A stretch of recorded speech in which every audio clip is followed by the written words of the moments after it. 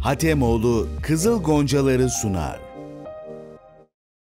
7 yaş üzeri için uygundur. Şiddet ve olumsuz ögeler içermektedir.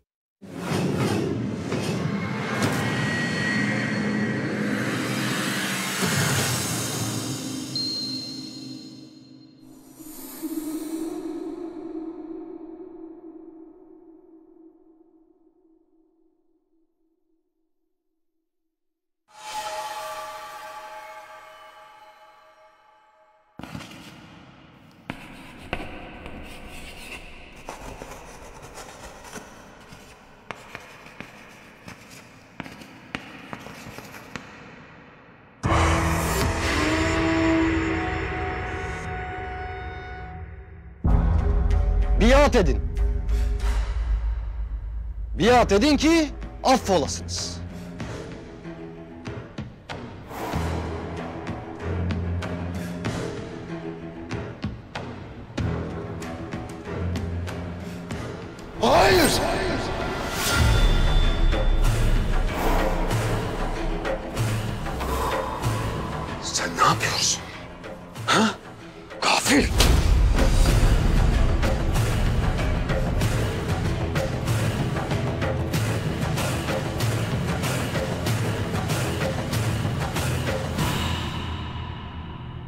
Hazreti Yusuf'u nasıl kuyuya atmıştı kardeşleri? Nasıl kuyudan çıkmıştı da Mısır'a vezir olmuştu kendisi? Allah nasıl tekrar karşısına çıkartmıştı o kıyıcı kardeşlerini de? Nasıl tanımamışlardı onu? Küçük kardeşleri Bünyamin'e de aynı oyunu oynamalarını istediğinde nasıl şaşalamışlardı?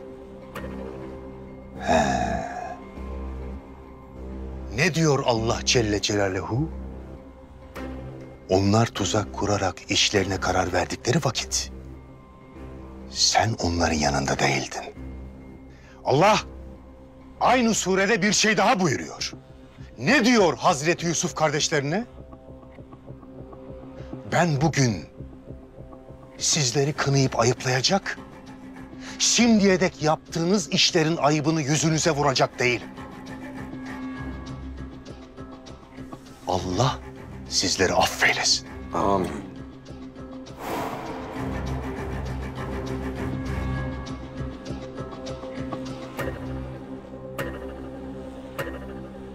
Gördünüz, işittiniz. Bu ailede ikilik olmaz. Birliğin bereketi var. Allahu Ekber! Allahu Ekber! Allahu Ekber! Allahu Ekber! Allahu Ekber!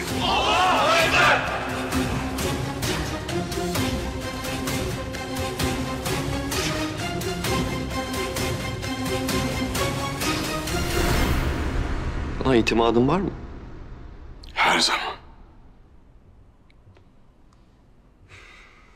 Bak ben yaşadıklarından ötürü farklı görüyor olabilirim bazı şeyleri. Yani eski senin tanıdığın Cüneyt olsa bunları sana söylemeyebilirdi.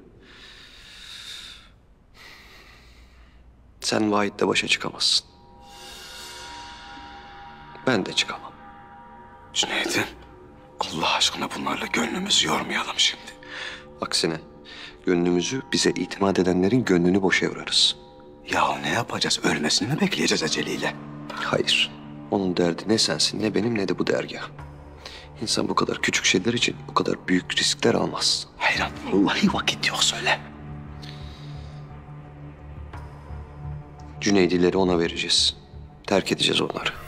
Ne? Tövbe estağfirullah. İtimadını kazanacağız. Asıl derdi neymiş onu öğreneceğiz. Asıl derdini bilmediğin bir adamı anlayamazsın. Anlayamadığın birini de yenemezsin.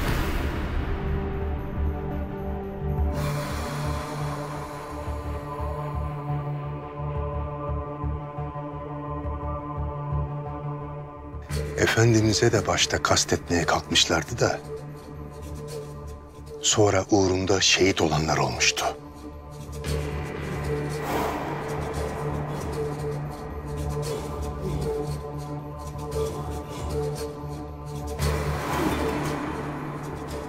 Ben de sana Allah'tan öyle bir şehadet dilerim kardeşim. Allahu Ekber. Allahu Ekber. Allahu Ekber. Allahu Ekber. Allahu Ekber.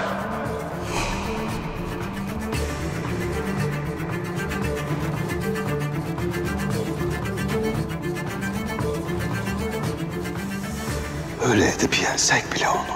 Peki gönlünü kırdığımız. Sana aşık Cüneyt'leri ne yapacağız? Onların gönüllerini nasıl tamir edeceğiz Cüneyt Efendi? Vahid'in zulmü bitsin de. Varsın beni sevmeyi versinler.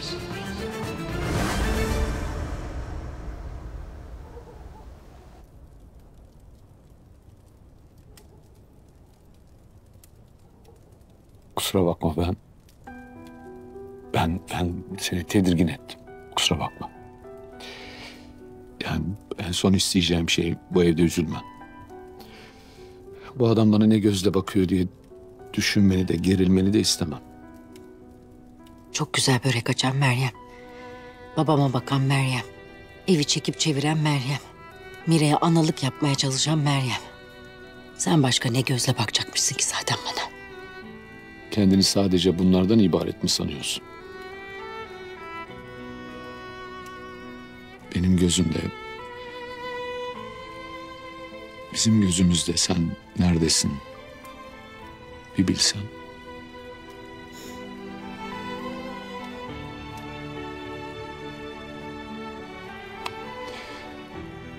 Kusura bakma.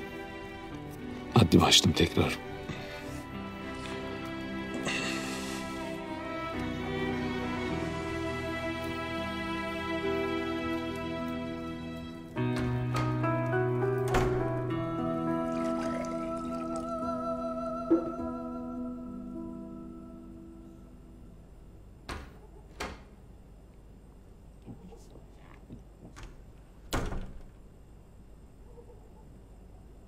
Bu fırını bana aldığın günü hatırlıyorsun değil mi?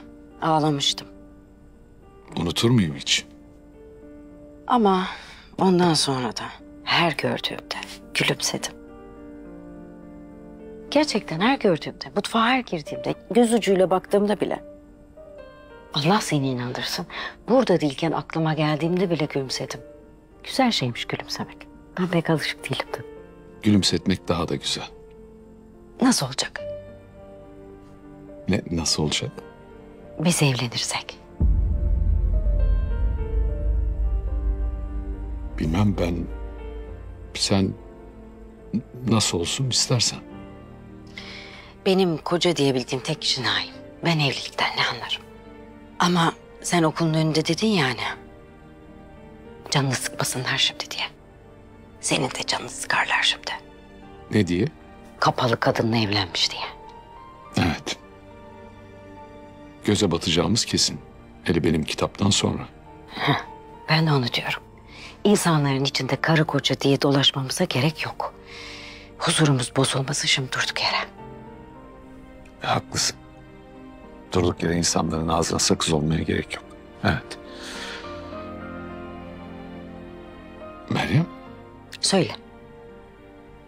ya yani bu evlenme teklifini kabul ettin anlamına mı geliyor? Ben diyeceğimi dedim. Daha utandırma beni istersen. Hadi iyi geceler.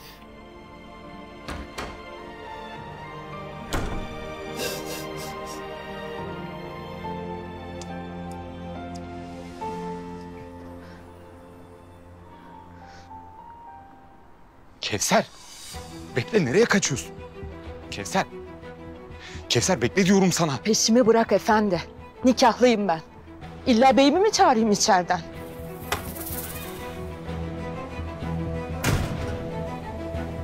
Nikah mı? Beyin mi?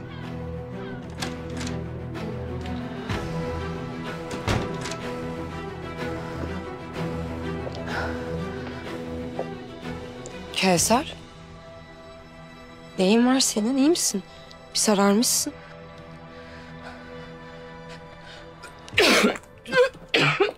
Bekle bir yardım edeyim.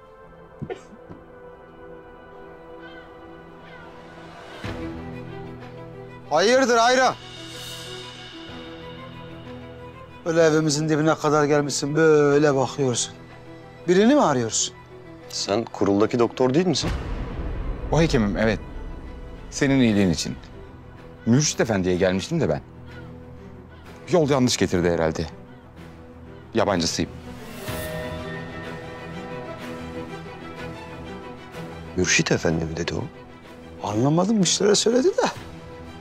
Bak görüyor musun kurula bile adamını sokmuş. Kurulda bir şey döndü belliydi ama. Hareketler değişik. Nefes nefeseydi böyle bir sararmış. Sonra içi bunaldı koştu gitti banyoya. Yardım edeyim dedim ona da kulak asmadı. Hiç anlamadım ne olduğunu. Böyle birinden kaçıyormuş gibi bir hal. Selamun aleyküm. Aleykümselam. Gel Cüneyt'im gel. Cüneyt. Evladım. Çok şükür. Çok şükür Rabbim bugünleri de gösterdi. Geç otur gel.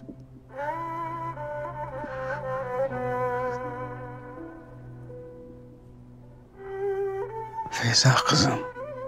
Cüneyt'i sana söylemeden aldım getirdim ama inşallah bizi mahcup etmezsin değil mi güzel kızım? Baba kaç kere daha söyleyeyim. Ben o defteri kapattım. Hem sen demez misin? Olanın hayrı vardır diye. Maşallah. Aferin sana. Öyle derim. Sen bir Zeynep'i çağır bakalım. Haydi kızım. Tabii. Çağırayım ben hemen.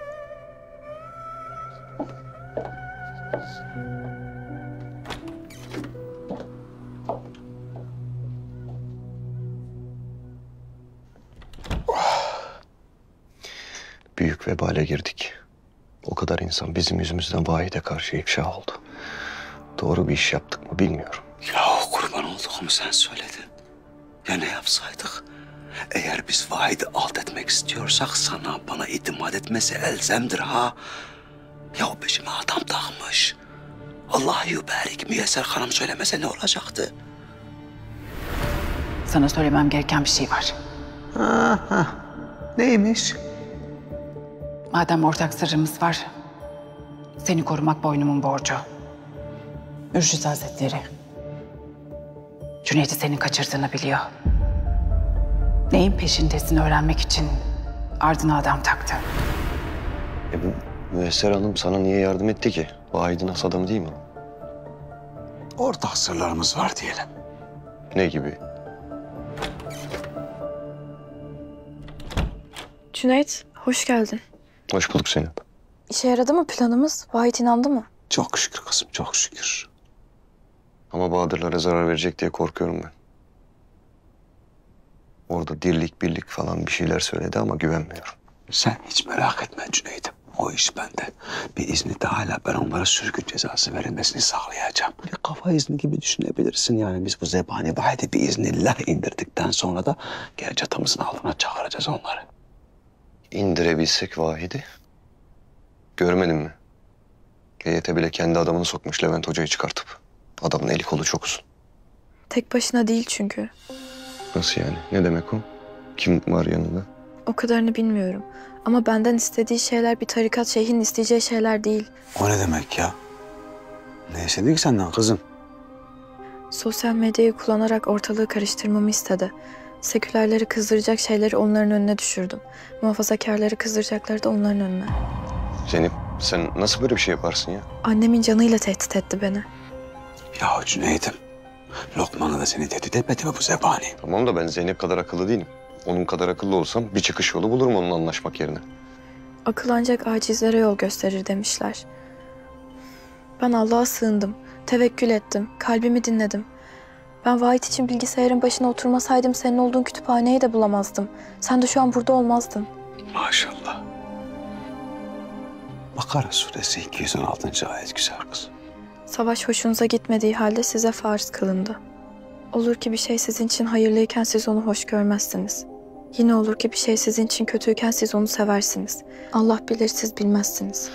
Tamam anladım her şeyin bir sebebi var diyorsunuz da... ...bu babam olacak adamı yenmek için... ...onun hakkında daha fazla şey bilmemiz gerekiyor. Doktor Levent dedi ki bu zebani abimi oradan indirmek için bütün delileri ben Cüneyt'e anlattım. Bana hiç bakmayın. Cüneyt evde yok.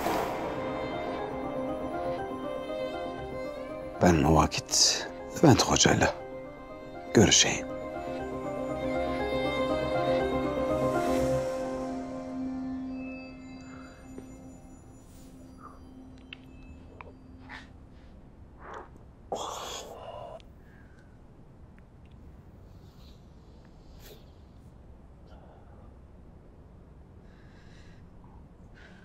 Yol boyu ağzını bıçak açmadı.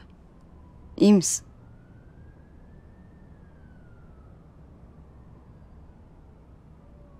Ne yapacağız? Nasıl bir yol izleyeceğiz? Hepsini konuşmamız lazım. Bir şey demeyecek misin Seçkin?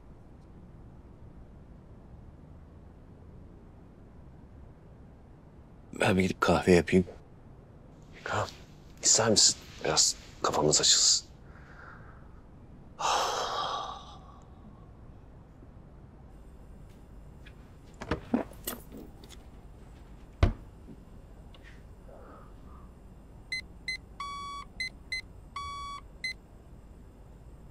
Bozuk. Nasıl bozuk ya? Yeni almadınız bunu. Evet. Ama hatalı üretim. Böyle. Nasıl yani? Değiştirmiyorlar bunu. Mümkün değil miymiş? Değiştirmiyorlar. Mümkün değil mi Seçkin? Bu. Ben bunu böyle kabul ettim. Sen de kabul et. Ha, buraya basıyorsun. Çalışıyor. Buradan birazdan gelirsin. Ben bir lavaboya gideyim. Sonra eğrisinin doğrusuna oturup konuşalım.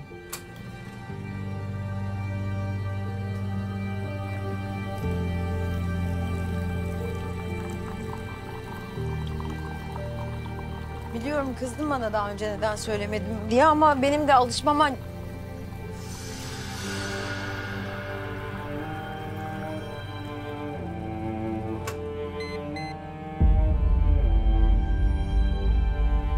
Seçkin?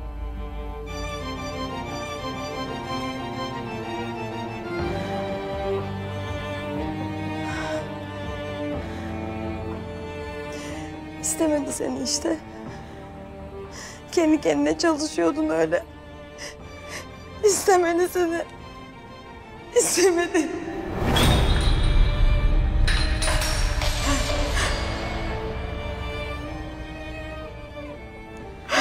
İstemedi seni, istemedi. Ah, istemedi seni.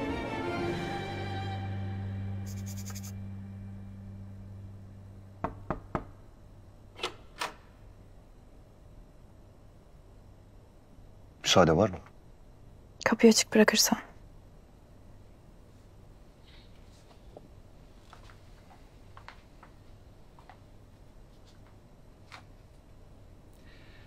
Zeynep ben seni kırmak istemezdim.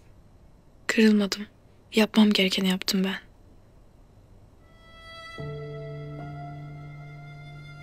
Babası ne vakittir ortada yokken bu bebeğe tek başına bakman gibi mi? Ben sana neler yapmışım Zeynep. El kadar bebekte seni yalnız bırakmışım.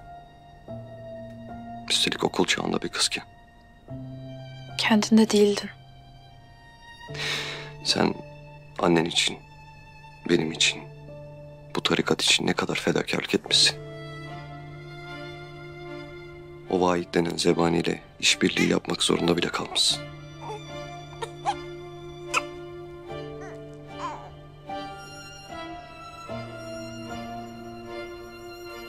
Sen iyi ol. Vahit'in yaptığı kötülükler bitsin yeter. Elif bebeğin de, benim gibi tekkedeki kızların da, kadınlara da iyi gelecek tek şey Vahit'in yaptıklarının cezasını çekmesi. Onda da besbelli ben hatalıyım. Zayıf düşmüşüm. Hastalanmışım.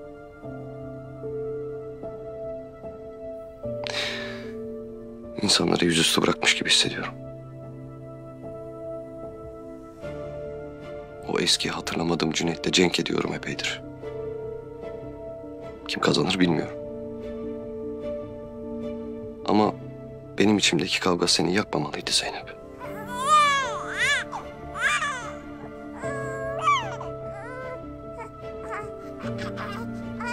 Elif, tamam.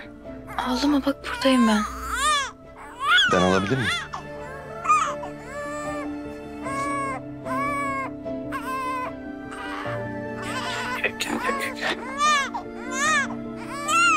Elif. Ağlama bak buradayız biz. İncecikten bir kar yağar. Tozar Elif Elif diye.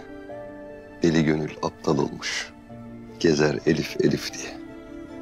Şiir de seviyor. Başka ne seviyor? Ben ona matematik formüllerini ninni olarak söylüyorum. Hemen susuyor. Ama bu ara o da fayda etmiyor. Anlamadım. Annesi için ağlıyordur belki. Onun girdiği sınavların ağırlığı için. Eski Cüneyd'in sana vermesi gereken bir hesap var Zeynep.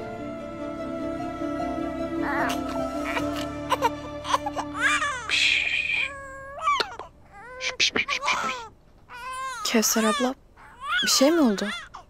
Elif e, susmayınca bir anda girdim. Dayanamadım. Ya bir yardım edeyim diye.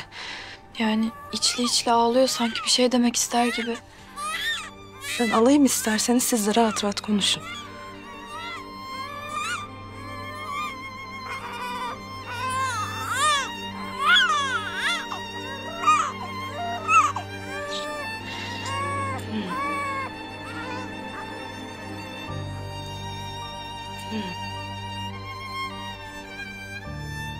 Sustu hemen.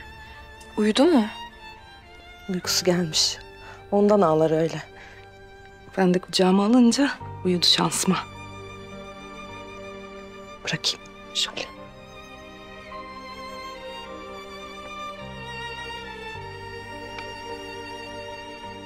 Ben çıkayım Zeynep.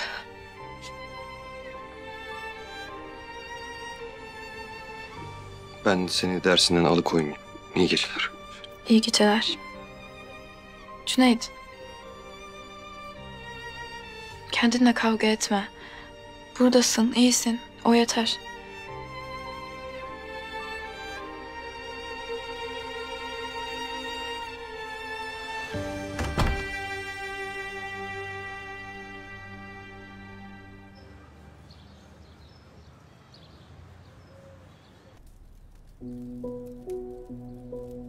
Ne konuşacaksınız benimle?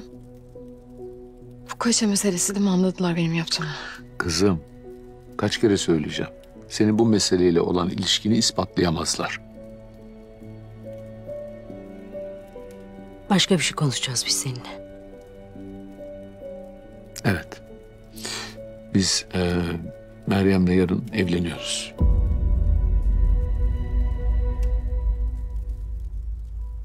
Okey. Okey mi? Bu kadar mı? Kuzum. Baba yani ben ne diyeyim? Benim bir şey demeye hakkım mı var? Hayatının içine etmişim zaten. Bık bık mı edeyim hala? Ne yapayım? Sen hayatım içine bir şey yaptın falan yok. Tamam mı? Sana da kızgın değilim yani. Bu konuda bir anlaşalım. Ayrıca Meryem anlattı. Canı korumak için yapmışsın. Tamam.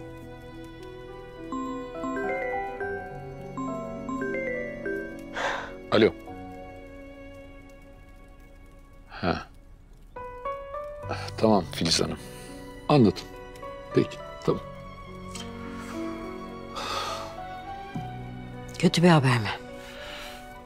Akşam 10 Kasım'la ilgili yapacağım konuşma iptal olmuş. Yani Bu soruşturma yüzünden işte. kızım. Tamam artık üzme kendini bu konuyla ilgili. Bak ben bugün avukatla konuşacağım. Tamam mı? İlla ki bir çıkış yolu bulunacak. Okula geç kalıyorum.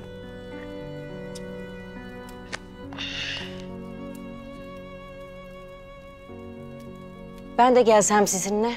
Ee, Zeynep'e bu nikah işini kendim söyleyeyim. Olur tabii.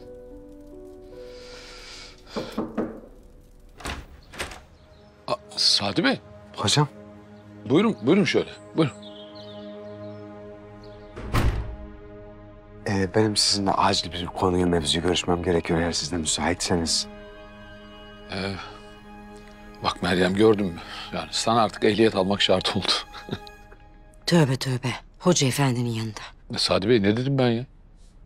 Kadınların araba kullanması caiz değil mi dinde? O konuyla alakalı şöyle bir durum var hocam.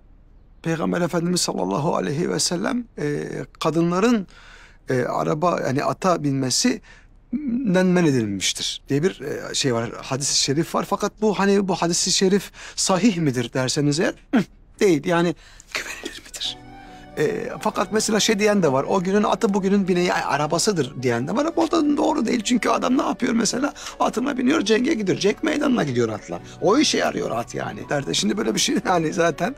Hani trafik olarak hani bu kadar sevgisiz, saygısız, bağıran, çağıran, vuran, küfreden bir şeyin içerisinde kadın bir başına ne yapacak Allah aşkınıza? O da küfreder. Tövbe estağfurullah. Kızım. Hocam bana soracak olursanız kadının arabaya kullanması caiz midir diye soracak olursanız eğer... Soruyorum. Bir saattir de cevap bekliyorum. Evet hocam. Evet. Çünkü önümüzde bir Suudi Arabistan gerçeği var değil mi yani? Suudi Arabistan'da mesela ne yaptılar? Serbest bıraktılar. Hani neyi ölçü aldılar değil mi? Neyi de bıraktılar. Ayşe Hazretleri zamanında deveye biniyormuş değil mi Hoca Efendi? Şimdi yani bu dönemde konuşulacak şey mi? Arabayı kimin kullanacağı? Evet. Hazreti Ayşe tabii. Anladım anladım. Bu ehliyet meselesini çok uzun uzun konuşacağız. Tamam. Salih Bey böyle buyurun siz. Ben bir taksi çağırayım size.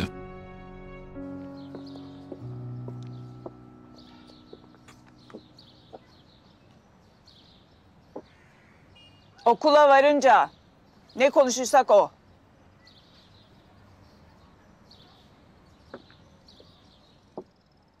Herkes yapması gerekeni anladı öyle değil mi? Ama hanım anne biz de... Siz benim sözüme biat etmiyor musunuz? Bundan sonra riayet etmeyen kim varsa bizzat Kadı Efendi'ye söyleyeceğim. Cezasını kesecek.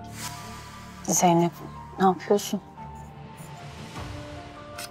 Yapmam gerekeni hala sen demez misin? Yasaklara karşı çıkmanın tek yolu onları çiğnemek değil, yasakların içinde yeni yollar denemek diye onu yapıyorum.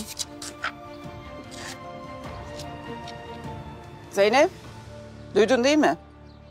En büyükleri olarak önce sen riayet edeceksin. Duydum hanım anne. Öyle yapacağız evet. Aferin.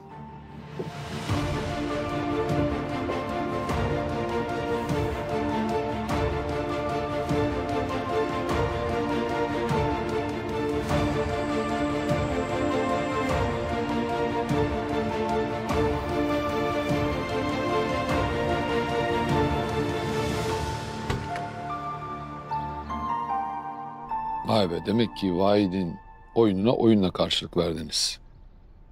Cüneyt o yüzden geçmedi yani bile bile heyeti ha? Vallahi hocam hepsi Cüneyd'in fikri yani. Bu vahid zebanisinin size kurduğu tuzak onda bardağı taşıran son damla oldu. Bilinç, bilinç dışı ne enteresan bir şey.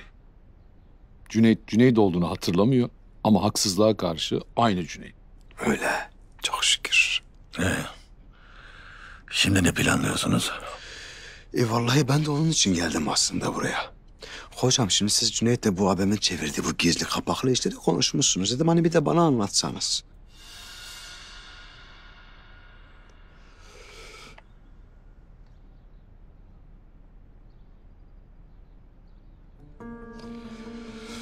Bu babamın da yakından tanıdığı İrfan denen bir adamın cenazesi. Yani Vahid'in asla yan yana gelmeyeceği türden bir adamın. İrfan. Kim ki bu? Sormuştum bir ara. Sizi siz, onları onlar yaparız demişti. Artık sen düşün gerisini. Tövbe estağfirullah. E bu yanındakiler? Ha, işte işler orada karışıyor. Bu yanındakiler kara para aklamaktan tut bir sürü kirli işe bulaşmış adamlar. Suha Bey ben dedim vallahi dedim bu iş memleket meselesi ben dedim demedim mi? Hem de ne memleket meselesi. Bunu maşa olarak kullananların yapmayacağı şey yok. Bunlar kuzuyu yemek için tilkiyle plan yaparlar. Kuzuyu kurda öldürtürler sonra da çobana kuzu için numaradan yas tuttururlar. Ya iyi de bu adamlar bu kadar güçlüyse biz onları oradan nasıl indireceğiz? Konfüçyüs'ün bir lafı var. Devlet gemiye, halk da suya benzer. Yani gemiyi taşıyan da sudur, gemiyi alabora eden de sudur. Vahid'in etrafında niye bu adamlar var? Çünkü Vahid'in arkasında muazzam bir faniler desteği var. Eğer faniler Vahid'in bu adamlarla bu işleri tuttuğunu öğrenirse desteğini çekerler. Çekerlerse artık Vahid bu adamların hiçbir işine yaramaz. Hocam iyi diyorsun, hoş diyorsun da... Ya benim fanileri ikna etmem için kalkıp bir tane fotoğrafla böyle karşılarına çıkıp bakın burada yani Vahit yanındaki adamla gizli işler çeviriyor dersem o yani olmaz. Bir fotoğrafla olmaz. Daha sağlam bir delil lazım. Evet. Vahid'in hiçbir zaman inkar edemeyeceği bir delil. De ne? Benim manevi mirasım ilim ve akıldır demiş Atatürk. Bir zamanlar gelir, beni unutmak veya unutturmak isteyenler belirebilir. Fikirlerime karşı çıkanlar veya beni yerenler çıkabilir. Hatta bunlar benim yakın bildiğim ve inandıklarım arasından bile olabilir. Ektiğimiz tohumlar öyle Aç kapıyı ve aç. kuvvetlidir ki bu fikirler Bismillahirrahmanirrahim. Mısır'dan döner yine gelir.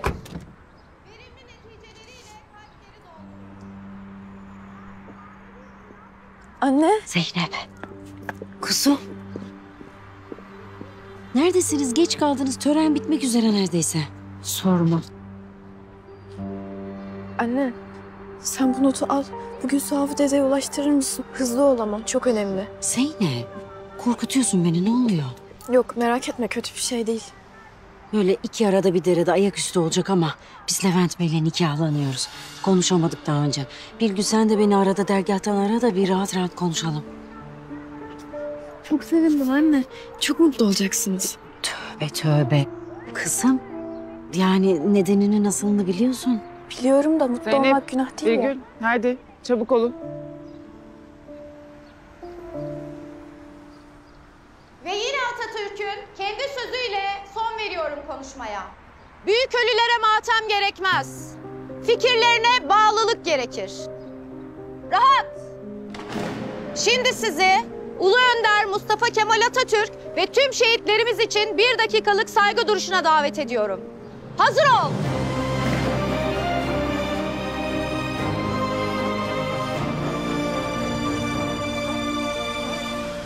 E ben o zaman Cüneyt'in yanına gideyim. istişaremizi anlatayım. Müsaadenizi istiyorum. Dur dur dur. Dur. Ee, sen e, beni bir dikleştir bakayım. Sen sen. Tabii ki. Ya Allah. Ama...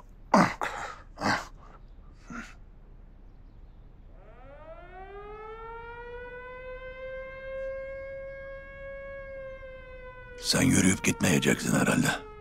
Baba karışma sen. Niye karışmıyorum? Senede bir dakika bu ülkenin kurucusuna saygı göstermesi çok mu? Tamam baba da zorla güzellik olmaz lütfen.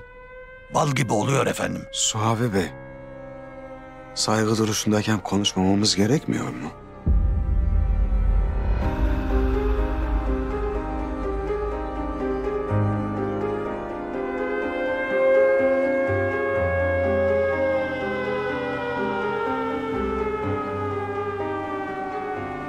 Haydi yürüyün.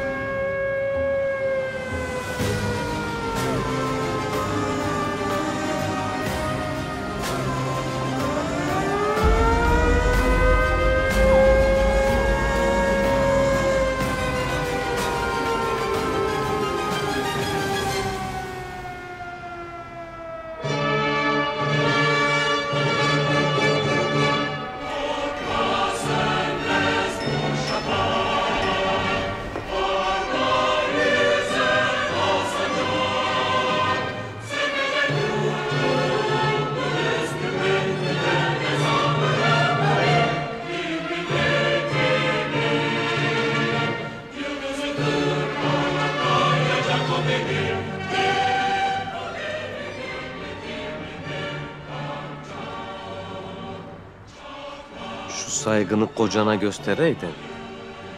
Şimdi böyle yalnız kalmazdın yuvasız kuşlar gibi. Senin doktorun ipini çekmişler ya. Ee, böyle sahte reçetelerle bu pırıl pırıl gençleri fenalığa sürüklemeyeceksin işte.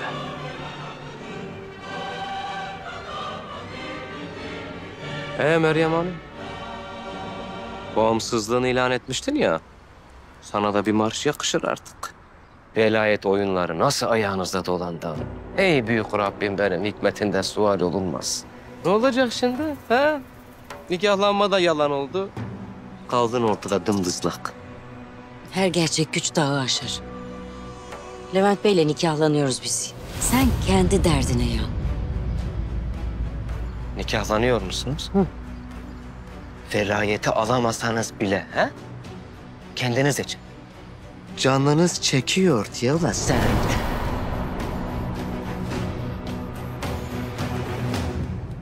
Olmaz. Müsaade etmem. İki cihan bir araya gelse değil o herifle yaşayan herhangi bir adamla evlenemez. Sen benimsin. Sen hala benim helalimsin. Bunu kafana sok Meryem Hanım. Müsaade etmem. Etmem. Müsaade etmem.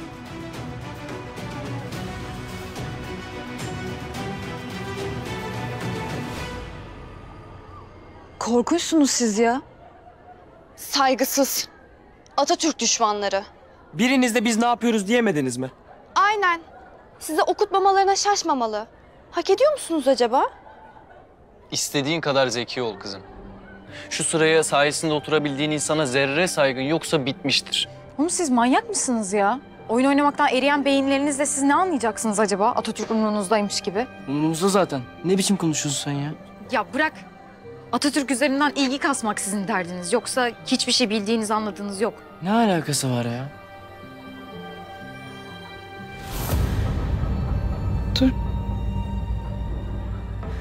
Tamam bir soru sorayım o zaman size. Atatürk kaç kitap yazmış abi? Nutuk. Başka? Ee, Tamam. Kaç kitap yazdığını boş verelim. Nutuk haricinde yazdığı başka bir kitabı söyler misiniz bana? Nutuk dışında başka ne yazmış?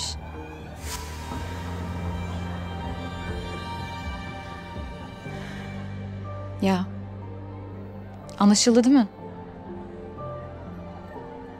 Birazdan sorarsınız internet tanrısına öğrenirsiniz ama sonra yine unutursunuz zaten. Ayrıca hiçbirinizin de notu böyle oturup baştan sona okuduğuna inanmıyorum. Siz anca nal gibi rozetten devam.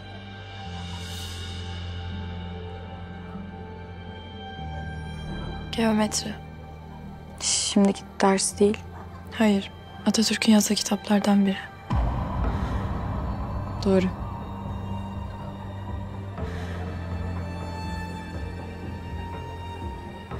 Herkes yerine.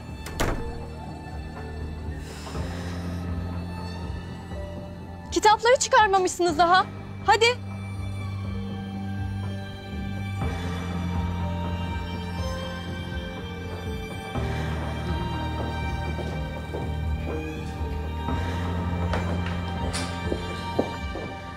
Ben anlamıyorum hanımefendi sizi. Hadi kimin umurunda olmaz böyle değerler. E bu hayatın yaşantısının için akar gider. Ama siz bilerek töreni beklediğiniz çocukları yürütmek için. inadına yaptınız. Öyle denk gelmiştir. Hayır efendim. Öyle denk gelmedi. İnadına yaptınız. Yaptıysam yaptım. Suç mu? Suç değil ama vicdansızlık. Çok mu zor bu ülkenin kurucusuna saygı göstermek? Saygı Hazırolla mı oluyor? Asker miyiz biz? Mustafa Kemal'in askerleriyiz, evet. Çok güzel. Gidin olun o zaman. Utanmıyorsunuz. Bu ülkenin bütün nimetlerinden faydalanıyorsunuz ama iş minnet göstermeye geldiğinde... Niye? Ben de bu devlet için can verdim, kan döktüm. Babalarım, dedelerim bu memleket için çalıştılar, didindiler. Bu memleketi halis, temiz kalpli Müslümanlar savaştı da kurtardılar düşmanın elinden. Size ne benim dinimden? Hı? Sen inanıyor musun mesela? Seni ilgilendirmez. Kurban bayramında kurban. Kesiyor musun? Kesmiyorum. Hayır. O zaman niye tatil yapıyorsun? Müslümanlara kurban kesilsin diye verilen izinde. Ne alakası var konumuzla? Nasıl ne alakası var? Çok alakası var. Devlet layık devlet. Bırakın dindarlar kutlasın, siz kutlamayın. Hem tatil yaparlar hem de Müslüman kurban kesti diye cani diye laf sokarlar. Sizin ahlakınız bu kadar işte. Dokuzu beş geçe hazır olda durdum diye kendini iyi hisseder. Ondan sonra gider her erzeyi yer. Siz de namaz kılar, sonra da yaptıklarınızı söyleyemiyoruz bile. Bizimle uğraşmayın. Ee, çocuklar... Çocuklar bugün bir saat etüde mi kalsa? Suç değilse ceza niye? Ceza değil, etüt. Günün anlam ve önemine binaen.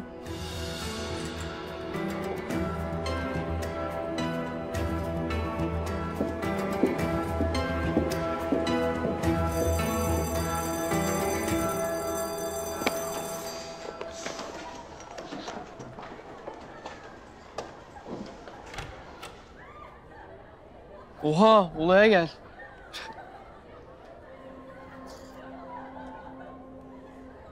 Ee böyle vatan millet deyip kendini paralayan herkesin arasından böyle pislikler çıkıyor işte. Gençler, Can yok mu bugün? Can? Mira'nın babasıyla olmasın sakın. Birlikte uyuşturucu işine girmişlerdir belki. Gebertirim lan sizi. Hop hop. Başını belaya sokma. Bak baban da bugün yarın içeri girer zaten. Seni de koruyacak kimse kalmaz. Kes sesini. Ne kızım yalan mı? Milleti sahte reçeteyle zehirliyormuş işte babam. Size ne be? Siz ne biliyorsunuz da konuşuyorsunuz aptal sürüsü? Hiç atar kasma bize. Bütün sosyal medya babanı konuşuyor. Bir de utanmadan çıkıp her yerde kanaat önderliği yapıyor. Bana bak. Ne var ne? Baban uyuşturucu satmıyor mu zaten? Atamızın adını ağzına alacak en son kişi o. Levent amca asla yapmaz öyle bir şey. iftira o. Sana hayırdır? Nereden tanıyorsun Levent amcanı? Hakikaten ha. Bu onu bu da onu koruyor kaçtır. Şş. Hayırdır? Kardeş falan mısınız siz? Ne ayaksınız kızım? Ne kardeşi ya? Salak salak konuşmayın. Annesi bizim evimizde yardımcı olarak çalışıyor. Oo, sırlar evi resmen.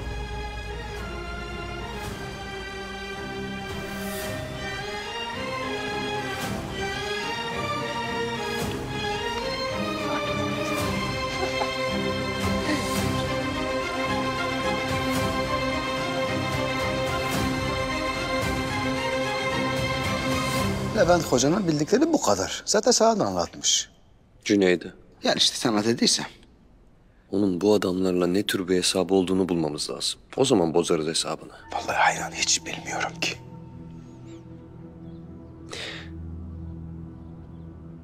Nerede buluşuyor bu adamlarla? Nasıl konuşuyor? Bilmiyorum. Yani o zebani bu çatının altından başka bir yere de gitmiyor ki. Laidrilerin yanında da konuşmaz, huylanır. Bir yol olması lazım. Onu onlarla görüşmeye itecek bir şey olsa... Hani bu cevabını istediği sorular... Ya o sorularla ne yapacak yani o da muamma. Değil. Hatemül Evliya olmak istiyor. Ne? Evet. Evliyaların sonuncusu olduğunu ispat etmek istiyor. Ne delirmiş Sağır? Çok değil. Ya onun evliyaların bir de sonuncusu olduğunu Allah aşkınıza kim inanır ya? Mesele öyle basitçe inanma meselesi değil Hoca Hazretleri. Herhangi bir imam, hoca, şeyh olma iddiasının ne makbul tarafı var bu zamanda? Böyle bir iddiası olmasa Sadi Hüda Efendi varken, Cüneyt Efendi varken onunla kim işbirliği yapar? Ne gerek var buna? Doğru söylüyor. Deli de deseler iddia iddiadır. İddialar değerli oldukları zaman anlatamadım. Ben anlatayım. İddialı olmasaydı değerli olmazdı. Çok güzel söyledin. Değil mi? Benim değil ki senin sözündür.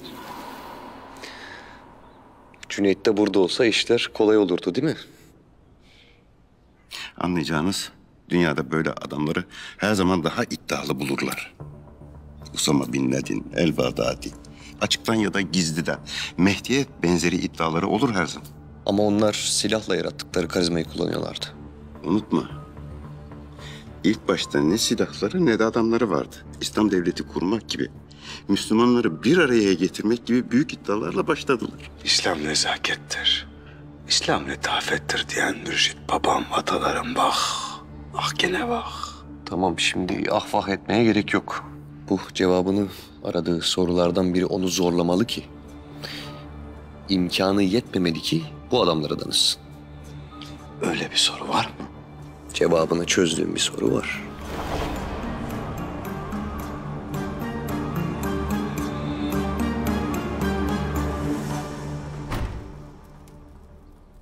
Gel Meryem biz de avukatla konuşuyorduk. Selamünaleyküm.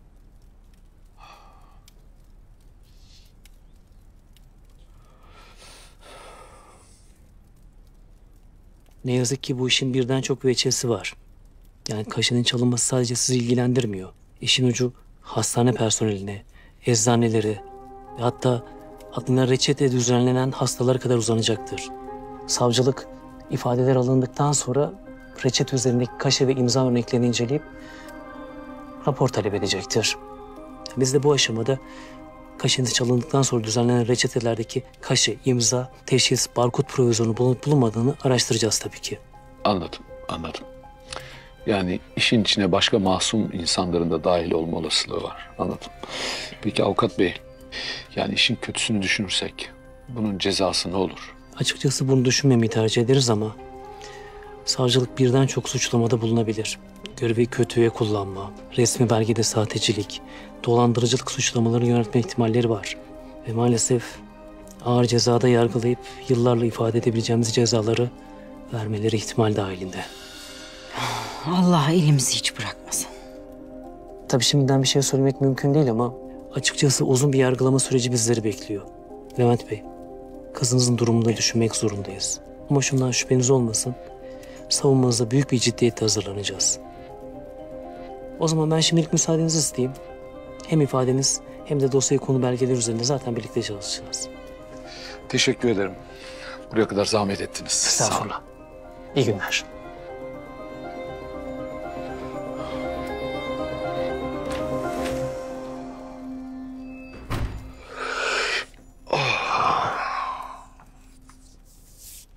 Yayın evinden aradılar. Sözleşmeyi tek taraflı askıya almışlar. Kitabın yeni baskısı yapılmayacak.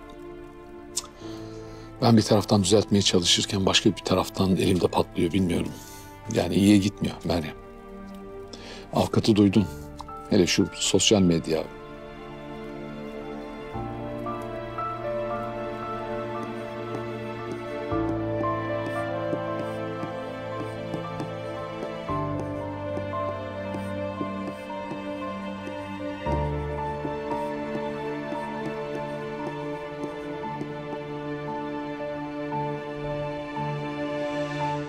İletişimin temel unsuru kaynaktır arkadaşlar.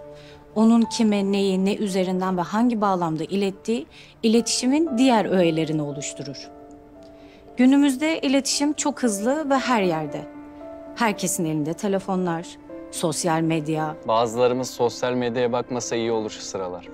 Ancak orada gördüğümüz ve duyduğumuz her şeye inanmadan önce bilginin doğruluğundan emin olmaya çalışmalıyız. Bilginin teyidi de iletişimin asli bir unsurudur.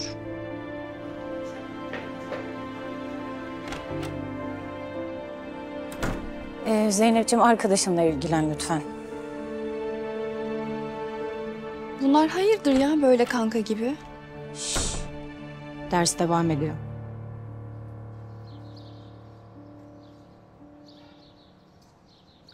Cüneyt'im ben önden gideyim. Senin soru meselesiyle beraber arkamdan gelirsin. Artık atacağımız her adamın çok ama çok önemli. Allahu alem. Selamünaleyküm.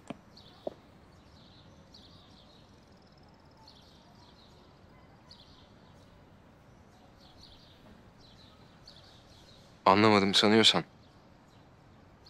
Yanılıyorsun. Cüneyt taklidi yaptığının farkındayım. Daha kendine gelmesin. Yap yani kimin taklidini yapıyorsan yap. Benim sana ihtiyacım var. Cüneyt. Ben senin bir çift sözünün her şeyim ben. Tüm hayatımı bırakıp buraya geldim. Ve şimdi daha önce yaptığım bir şey için Çok büyük bir vicdan azabı çekiyorum. Şimdi bildiğim konulara geldim. Konuşabiliriz. Mira'nın babası var ya, Levent Bey. Onun başına gelen her şeyin sorumlusu benim. Benim yüzümden oldu. Benim yüzümden derken? Ee, ben seninle tanışmadan önce bir takım girmiştim. Gerçi çekilmiştim desem aslında daha doğru olur ama... Kendimi irademe bir takım eşyaları insanlara teslim etmiştim. Hırsızlık bile yaptım. Mira'yı kullanarak. Babasının Levent Bey'in kaşesini çaldık. Çaldım. Çaldım. Bayağı kötü şeylere bulaştım. Çok kötü şeyler yaptım. Kapandı zannediyordum. Kapanmamış. Ve şimdi ne yapacağımı hiç bilmiyorum. İnanılmaz çaresizim. Gideyim teslim olayım desem cesaretim yok. Okula da gidemedim. Kendimi burada senin yanında buldum.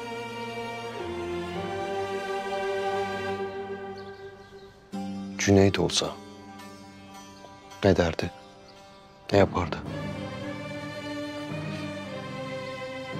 Günahın arkasında dur. Masumlara zarar verme. Git teslim ol. Ben o kadarını diyemem. Zor. Peki sen? Şimdiki sen ne yapardın?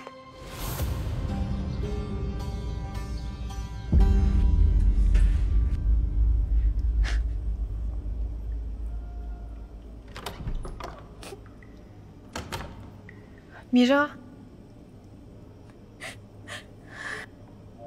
Mira. Mira aç kapıyı. Git başımdan. Üzdüler mi seni?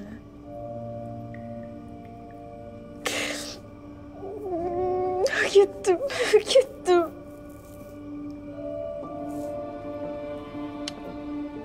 Ben yaptım ne yaptıysam. Her şey benim yüzümden. Hepsi benim suçum babam benim yüzümden.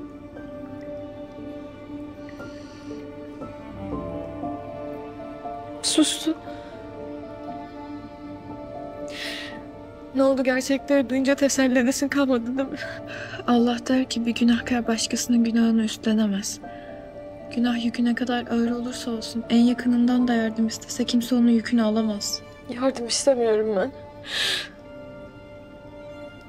Savcıya gidip her şeyi anlatacağım. Mira derlendin mi sen? Baban ne münasip görüyorsa onu yap. Levent amca bilir en doğrusunu. Ben sen değilim. Babam istedi diye onun felaketini izleyemem. Mesele o değil. Senin yaptığın günah o başka. Babanın başına gelenin günahı senin değil. Vahit'in yaptığı şeyi niye sen üstlenesin ki? Cüneyd'in kuruluna girmesin Levent amca diye yapıyor o işte anlamıyor musun?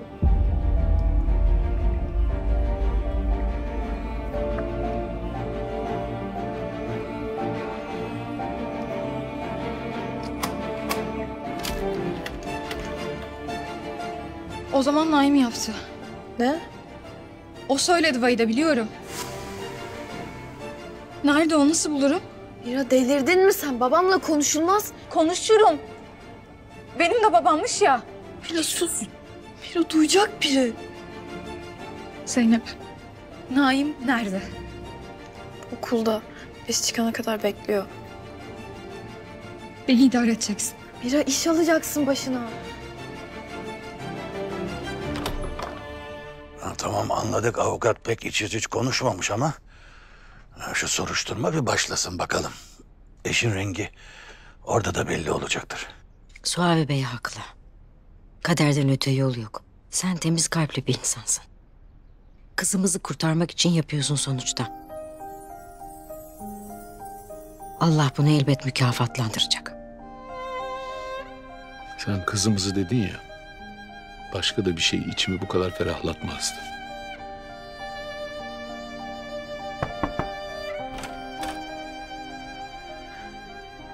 Dert yatağında bana da yer var mı? Gel buraya gel. Gel. Gel sen öyle kendi başına kararlar verip Allah'tan Meryem var da beni ikna ettiği gibi seni de etmiş. Anlamadım. Neyi ikna etti Meryem sizi? Çocuğu aldırmamaya. Ne?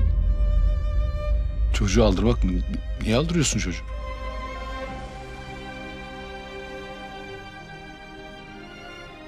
Down sendromlu çünkü.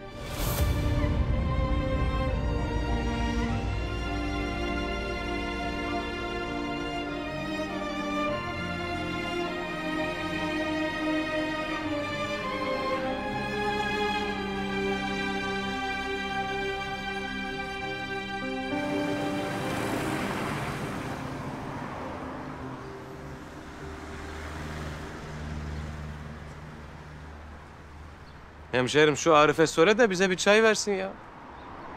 Maşallah hiçbir şey sorduğunuz yok. Aç mıyız, tok muyuz? Çay ver. Ne bakıyorsun oğlum? Maaşını biz veriyoruz. De haydi.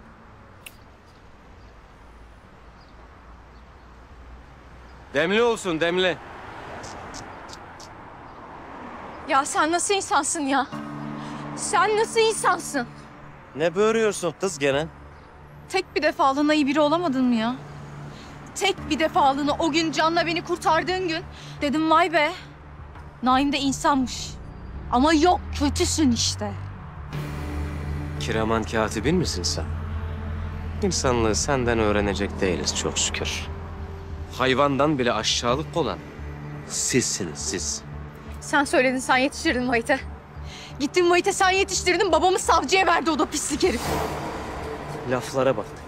Ya sana hiç mi aile terbiyesi vermediler? Bak bu üstündeki kıyafete, bu kapıya güvenme. Senin o dik kafanı ezerim. Baban yemeyeymiş o altı. Ne diyor Rabbi? Siz kendinizi büyük günahlardan sakınaydınız. Biz sizin küçük günahlarınızı örterdik. Kefereliğe devam etmeye... Ya kes be! Sanki inancından dolayı yaptın bilmiyor muyuz seni? Bilin beni. Beni iyi bilin beni. Bilin ki ben karımı, helalimi senin o kefere babana bırakmam. Kolaydı öyle izdivaç. Ben varken. Kolaydı. Bırak.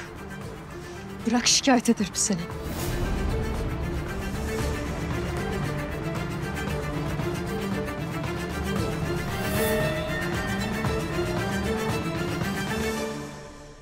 Daha iyi misin? Şimdi bak bu seçkinin ilk vukuatı değil. Hatta en iyi yaptığı şey. Kaçmak. Ama tabii senin seçkine de ihtiyacın yok. Biz buradayız. Levent Bey haklı. Kocaman bir ailesi var o bebeğin çok şükür. Öyle de. Gerçi yasal süreyi geçmişiz ama... ...bundan sonrasını ancak özel durumlarda heyet karar verebilir. Ama asıl önemli olan senin... eee, ...senin karar vermiş olman. Yani sen emin misin? Yani burada bir genetik anomaliden bahsediyoruz. Yıllara yayılmış bir araştırmadan bahsediyoruz. Anne üstündeki sosyolojik, ekonomik, psikolojik durumlarından bahsediyoruz. Orada dur ama efendi. Orada bir ayet var. Der ki Allah hiç kimsenin içine iki kalp koymamıştır. Manası çok başka ama elbet. Ben anne olduktan sonra çok okudum, derinlemesine anladım. Senin içinde bir kalp daha büyüdü mü? Büyümedi. Doğru. Ha, ama duygusal yaklaşabileceğimiz bir durum değil bu. Bir çocuğun hayatından, geleceğinden bahsediyoruz. Bu ciddi bir karar. Ama Ati'yi bilemiyoruz. Birilerinin koyduğu kaidelerle sağlıklı bir bebeğin nereye gideceğini bilemiyoruz. Bilemeyiz. Evet, bilmiyoruz. Bilmiyoruz doğru ama daha bebek doğmadı. Senin dünyan için öyle. Ama onun için. Kalbi atıyor. Besleniyor. Anası onu koruyor. Değil mi? Ben... Benim biraz yalnız kalmam lazım. Ben seni geçireyim Aydan.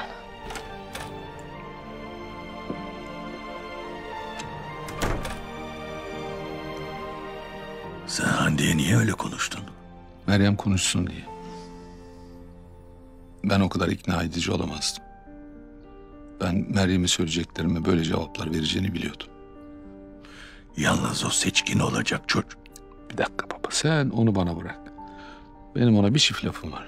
Sen onu bana bırak. Güvenlik yok. Sen polise git. Hatta savcıya git diyeceğim ya. O da meşguldür şimdi senin babanla. Sen gerçekten mutsuz vakasın. Ne bekliyordun benden ya? He? Ne bekliyordun benden? Çekin gidin yanımızdan, yöremizden yeter. Beni kötü bellediniz. Bakın şimdi ne haldesiniz. Ne vurmalar yemişsiniz siz. Baban yatsın içeride. Akıllanır belki. Sen de çok cesursan git babanı kurtar. Bana diklenme.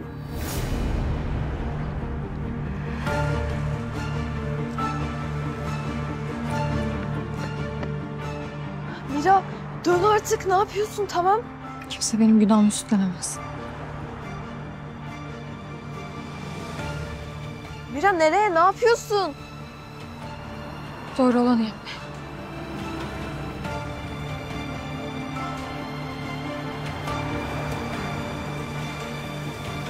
Şeyhülislam'ın sıfatının ona yaraştığını yapmış. Bir grup başı bozuk, içten içe bize karşı menfur şeyleri hazırlanıyorlarmış. Sadi Hüdayi Hoca Efendi de bunu fark etmiş, ilmek ilmek işlemiş, beni haberdar etmiş. Suçüstü yaptım böceklere. Çok şükür. Elmayı çürüten kurdudur. Heh, ağzın bal yesin. Artık gerçeği bilmenin vaktidir kardeşim. Hazır ağzımızda bal varken. He Müyesser Hanım? Lokman Efendi'nin elinde mahfuz bir kitap vardı. Ahir zamanın sonunu, yeni hayatı tarif eden bir kitap. Cüneyt oğlum da o kitabı ezber etmiş meğer. Arar dururdum. Kitap. Hatemül Evliya'yı da tarif eden bir kitaptır o. Senelerdir peşindeyim. Şimdi oğlumun zihninde. İçindekilerin Cüneyt'in zihninde kalmasında da bir hayır vardır dedim kendime. Biliyorsun. Mehdiyet ahir zamanın sonunda zuhur edecek. Bu sorulardan mürekkep kitap. Şu meşhur kitap. Heh, bildin. Gel.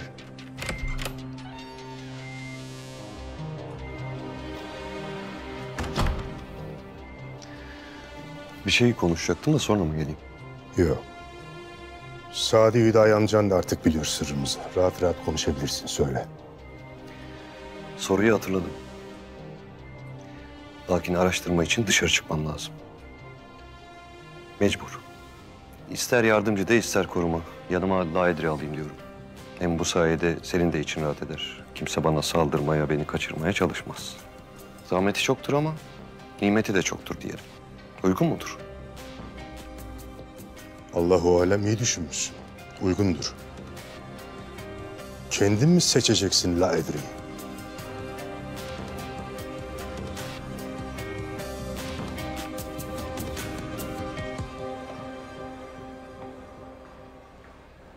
Hanım anne? Arif Efendi, senin Levent amcayı araman lazım. Mira delilik yapacak, savcıya gidecekmiş ve halama haber vereceğim. Tamam tamam merak etme. Niye gidiyor? Sen söyle anlar o.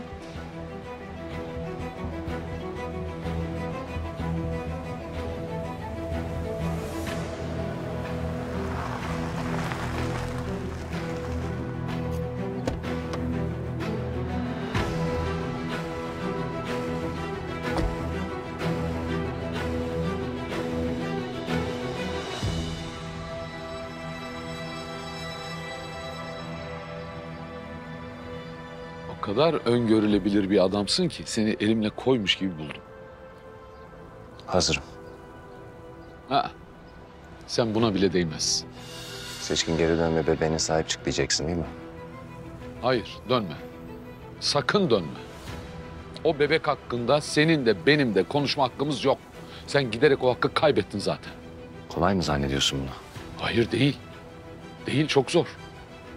Senin kaldıramayacağın kadar zor.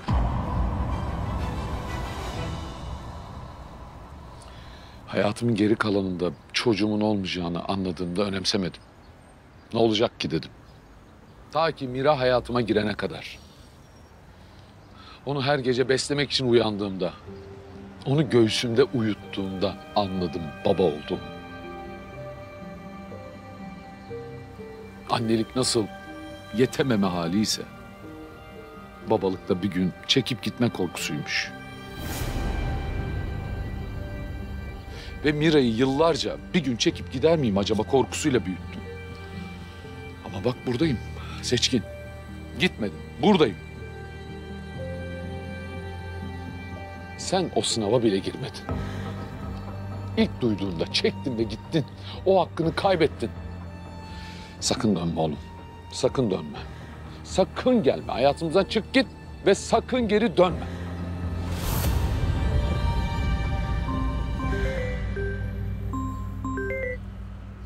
Efendim Ee, Levent hocam, Arif ben, fanilerden. Arif hayırdır? Cüneyt'le mi ilgili? Ha, e, yok hocam, e, kızınız savcılığa gidiyor. Şimdi okulda Zeynep Hanım anne söyledi. Tamam. Tamam Arif sağ ol. Sağ ol. Allah kahretsin.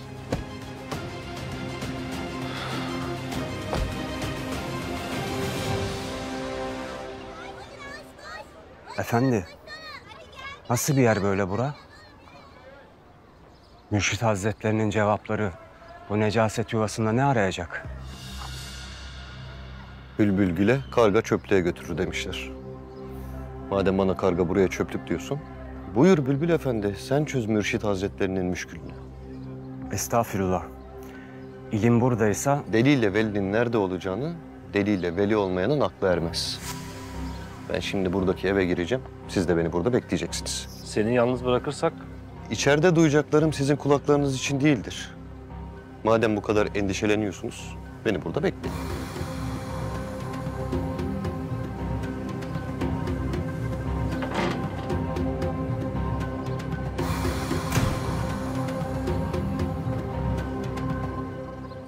Ee, benim e, savcıyla görüşmem lazım. Babamın davasının savcısı Levent Alkanlı. İsmi tanıdık ama öyle bulamayız ki. Adını bilmiyor musun savcının? Bilmiyorum ama bir savcıyla görüşmem gerekiyor. Her şeyi anlatmam lazım. Babamı kurtarmam lazım. Tamam, sakin ol. Berkan savcım yemekten döndü mü? Ben ona bir götüreyim. Buyurun.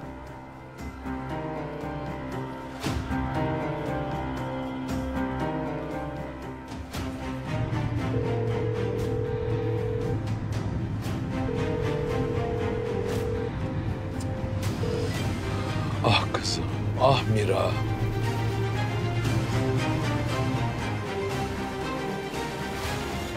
Levent Alkanlı'nın kızı sen misin? Adın ne senin? Mira. Mira, davaya ben bakmıyorum. Ancak anlatacakların önemliymiş, öyle mi? Evet. Tamam. Sen gir içeri, ben de yetkili savcıyı çağıracağım, bilgilendireceğim. Ama ilk önce bizim bir konuşmamız gerekiyor. Oldu? Hadi bakalım.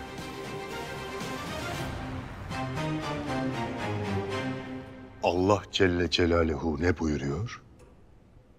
Ey iman edenler! Hep birden barışa gidin. Sakın şeytanın peşinden gitmeyin. Çünkü o apaçık düşmanınızdır. Ne güzel değil mi? Ne kadar sarih bir kitabımız var değil mi? Lafın tamamı yarım akıllıya söylenir. Siz artık sulh ettiniz. Bugünün hatırını da biliyorsunuz. Bakın ne buyuruyor? Sakın şeytanın peşinden gitmeyin diyor. Unutmayın. Mürşit Hazretleri. Aslı Hanım, Feyza'yı da Kevser'i de alıp hemen mutfağa götürüyoruz. Bütün dergahın nasipleneceği hoşaflar kaynatıyorsunuz. En güzeli nasıl yapılır? Kevser'i öğretiyorsun. Anlaşıldı? Amenna ve saddakna Mürşit Hazretleri. Güzel. Gel.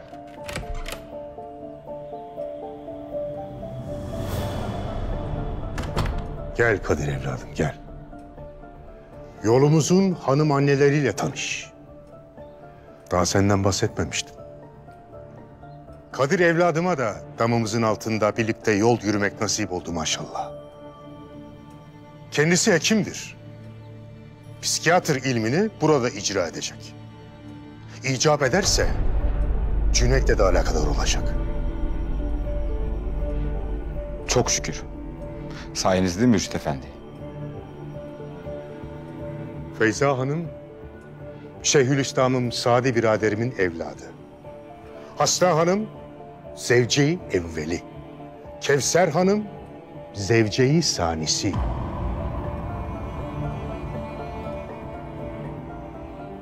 Hoş geldiniz. İlminiz yücele inşallah. Amin.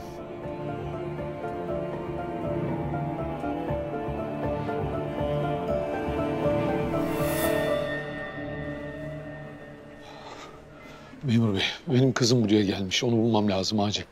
Tanıdım seni Levent Alkanlı. Yazıklar olsun. Bırak şimdi beni şu- şu boylarda üstünde okul üniforması olması lazım. Mira biliyorum savcının yanında. Yetişemedim. Yetişemedim. Nerede?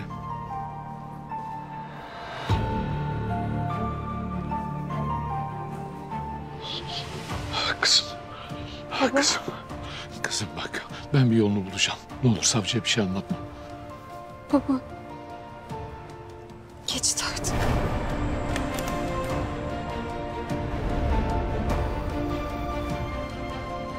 Levent Alkanlı. Evet. Savcım bakın benim kızım Geçmiş olsun. Büyük bir iftiradan kurtuldunuz. Baba bak.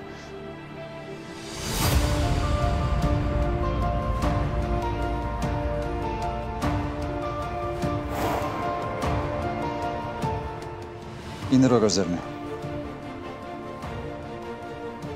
ne oluyor kızım? Torbacı gelmiş itiraf etmiş her şeyi. Cüneyt olsam yapamazdım. Öyle dedi.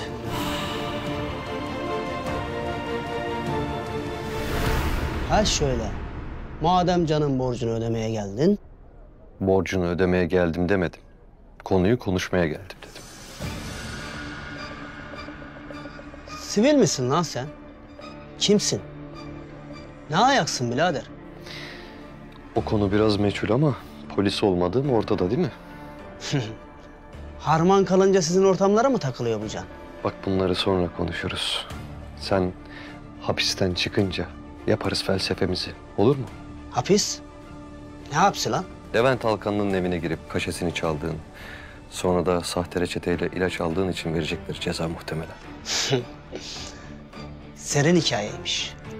Suçlu cezasını çeksin. Bana ne oğlum? Lan! Hop! Lan! Lan! Hop hop hop! Ne oluyor lan? Sakin. Şimdi savcıya gidip itirafçı olacaksın. Her şeyin sorumlusu sensin. Yaptıklarının bedeli gibi düşün. Senden mi korkacağız lan takke? Benden değil, dışarıdakilerden. Aç bak bakayım kapıyı kim var dışarıda?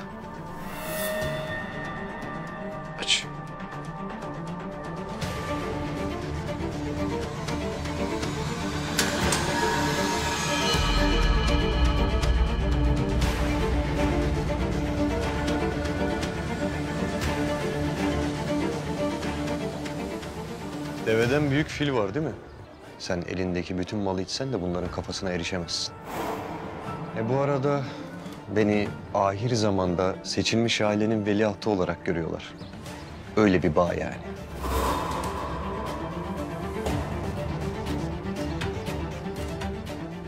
Ee? Savcıya gidip itirafçı mı olacaksın? Yoksa dışarıdakilerin insafına mı bırakayım sizleri?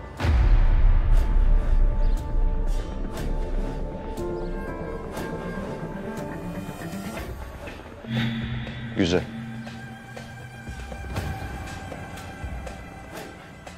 Bu arada doktoru görürsen ona mesajımı iletirsin. Cüneyt olsam bunları yapamazdım.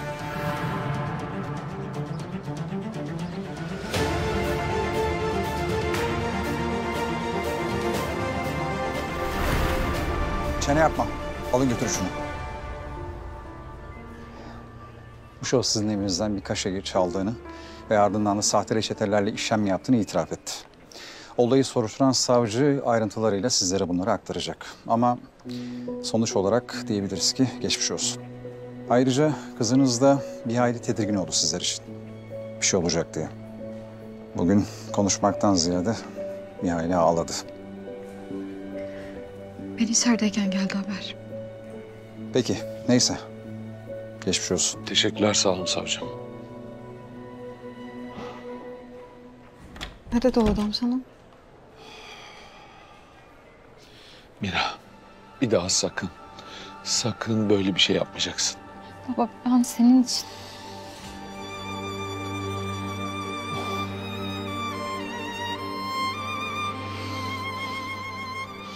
Ben her şeyimi kaybedebilirim. Doktorluğumu kaybedebilirim. Evimi, nefesimi, özgürlüğümü, her şeyimi kaybedebilirim kızım ama seni kaybedemem. Tamam mı? Neye yaşarsak yaşayalım. Ben senin babanım. Her sıfattan önce buyum ben. Tamam mı kızım? Bana söz ver. Bir daha beni benden almayacaksın.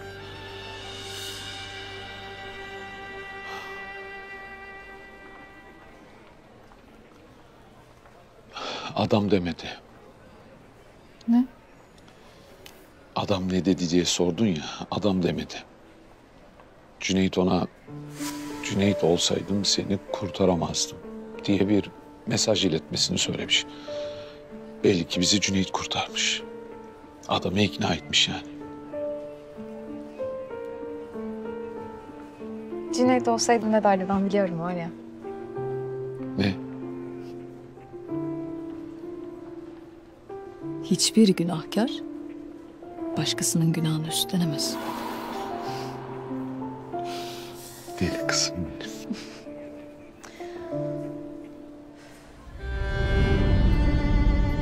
Bismillahirrahmanirrahim. Abdullah'tan olma. Ayşe'den doğma.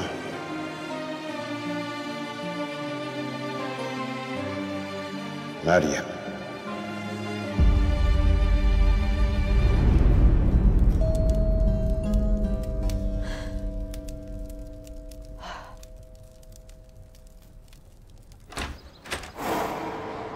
Naim. Selamun aleyküm. Gerçi bilmiyorum Allah'ın selamını alıyor musun almıyor musun bu kefere yuvasında ama Gündüz vakti kapılara dayanmaktan, yüzüne geri çevrilmekten usanmadın mı? hayırdır? Komşular görür duyar diye mi? He? Bu mu senin derdin? Ne çabuk alışmışsın buraların düzenine, intizamına. Duysunlar. Evlenmeyeceksin. Bu kadın evlenemez. Yine mi tehdit? Yine mi merkep gibi böğürme? Beni adetten çıkarmayın Meryem. Yapacaklarımın hududunu izlersiniz Meryem. Evliliği çıkar aklında. Bak buralar sana göre değil. Masumlar mazlum olur Meryem. Neymiş hududu yapacağın? Mira, onun tokası. Geçen de o sipsi olanla bunu dertten beladan kurtardım. Gerçi kurtardım da ney? Kafinin kızı. Yine yüzüme dikti konuştu. Dert bela dediğimde bunlara biri musallat olmuş. Torbacı mı ne diyorlar? Mira'nın tokası o. Kolaysa gelip alsın o kafir doktor babası bunu benden. Haydi. Naim çocuğa sakın dokunma. Çocuk mocuk anlamam. Ben diyeceğimi dedim. Hissesini sen çıkar. İyice tart. Öyle evlen evleneceksin. Çoluk çocuk onlar. Ne günahları var. Mira masum yavrucak. Evlenmeyeceksin. Bunu da dik kafana iyice sok. Anladın mı? Ha? Anladım. Ama sen de sakın Mira'ya dokunmayasın. Ona göre. İyi.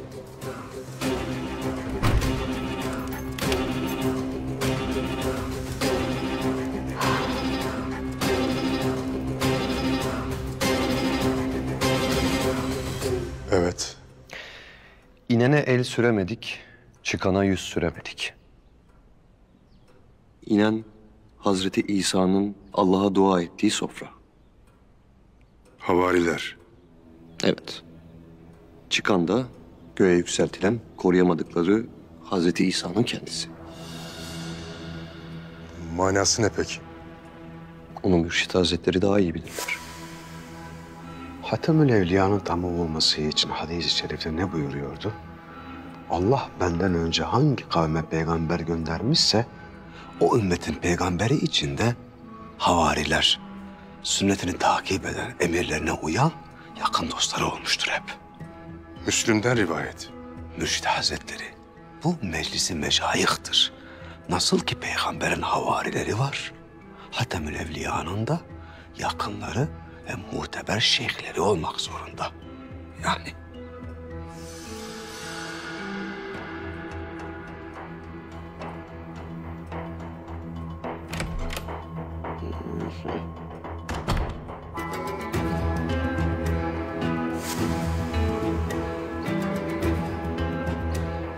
Hadi bakalım Vahit Efendi kimlerle iş tutuyorsun görelim.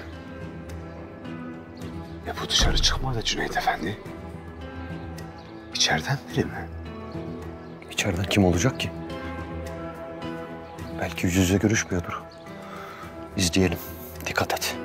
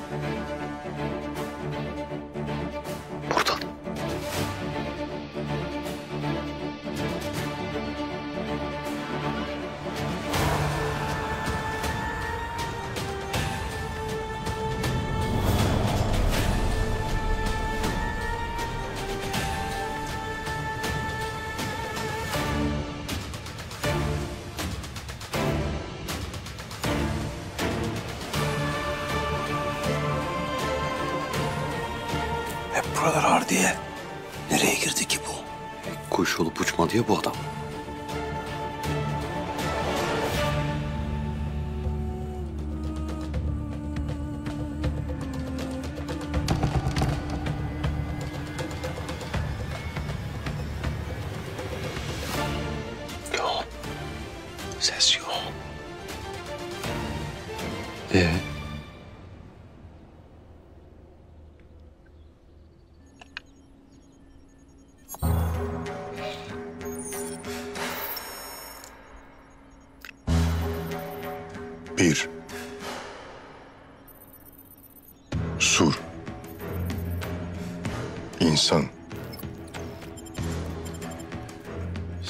İsimlerini vereceğim şeyhlerle ilgili detaylı bilgi istiyorum.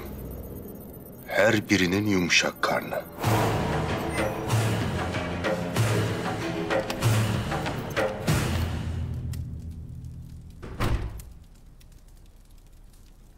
Meryem?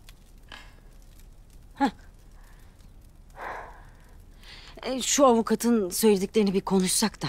Kızım müsaade eder misin bize biraz?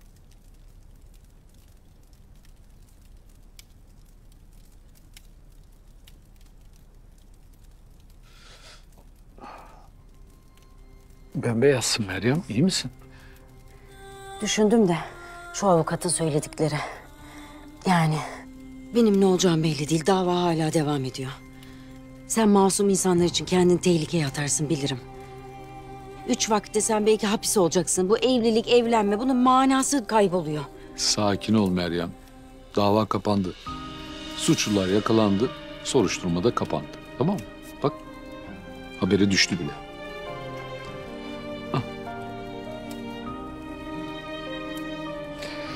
Cüneyt bulmuş adamları. İkna etmiş. Suçu sahiplendiler. Masum kimsenin başı yanmadı yani. Ha. Etik mi? Değil. Ama Mira'yı Can ve Mira için dua etmeye devam edeceğim. Rabbim onlara marifet etsin. Vebali de sırtımızda tabii ayrıca. o zaman hepimize daha iyi insanlar olmak için çabalamak düşer. Yakında mesleği iade içinde işlemler başlar. Yani evlendikten sonra velayeti alabilmek için önümüze hiçbir engel kalmaz. Naim, Naim mi? Buraya mı geldi? O elindeki ne senin? Mira'nın tokası. Düşürmüş. Mira okulda bu da almış gelmiş buraya. Bas bas bağırdı evlenmeyeceksin diye dayandı kapıya. Ahlaksız herif. Dur.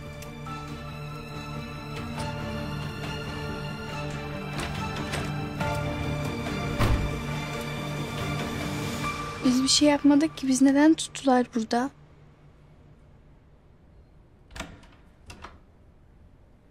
Zeynep abla biz neden etüte kaldık? Ceza mı verecek yoksa Müyesser Hanım anne? Ceza mı?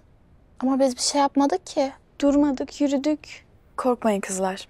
Birgül öğretmen özellikle ayarladı bu etüdü bizim için. Törene katılamadığımız için etüte kalıyoruz.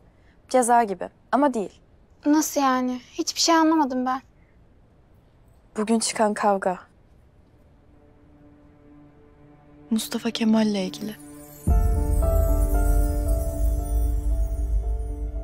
Bizim ailelerimiz, onların aileleri. Hiç bitmeyecek bir kavga bu. Ama biz çıkarmadık ki bu kavgayı. Bizden ne istiyorlar? Ben de size bugün o kavgayı çıkaranlardan birini getirdim. Başı kapalı kız çocuklarının okumasına engel olan birini.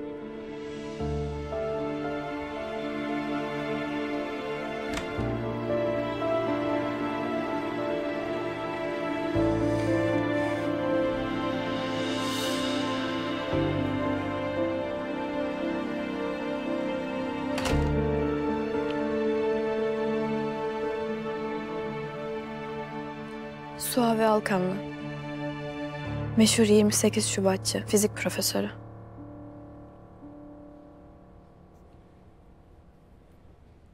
Size sadece bir hatıra anlatacağım. 27 Ekim 1922. Ne biliyor musunuz bu tarih?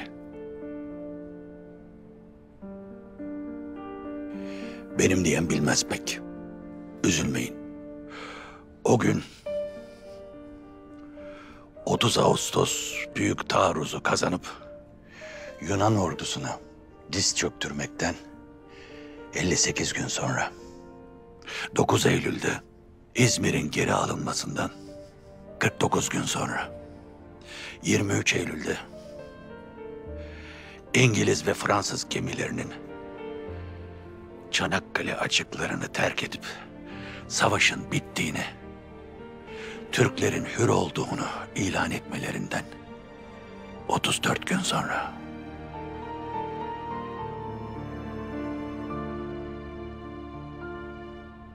bitmedi. Dünyanın en büyük imparatorluğunun, İngiltere'nin başbakanının kendi meclisini Mustafa Kemal'le bir kere daha savaşmaya ikna edemediği için istifa ettiği 19 Ekim gününden 8 gün sonra ülkesinin izzetini Yunan'dan, Fransız'dan, İngiliz'den, yedi düvelden kurtarmış bir adam. Bütün dünya onu konuşuyor. Amerikan gazeteleri sıraya girmiş, o ne diyecek diye bekliyorlar. Peki o gün o nerede?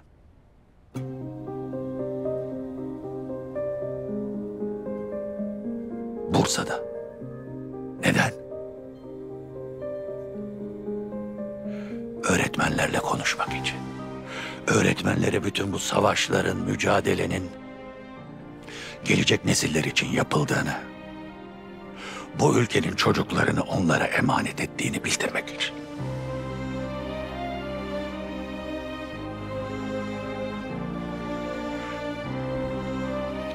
Ben o öğretmenlerden biri olarak başkaları başka mecralarda üzerlerine düşeni yapmadıkları için ucuz siyaset oyunlarıyla bu ülkenin çocuklarının eğitim haklarının ellerinden alınmasında rol oynadım.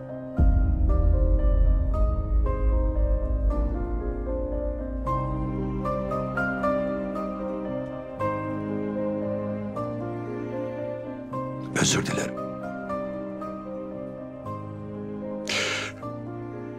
Ama önce ondan özür dilerim.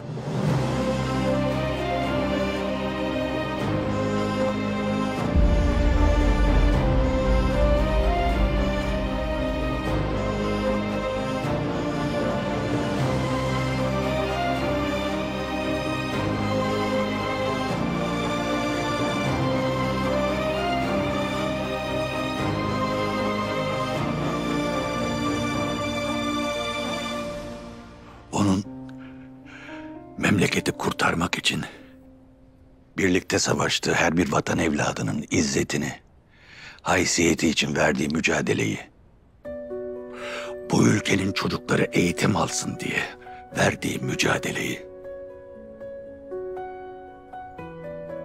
hangi gerekçeyle olursa olsun yaraladım. Yaraladık.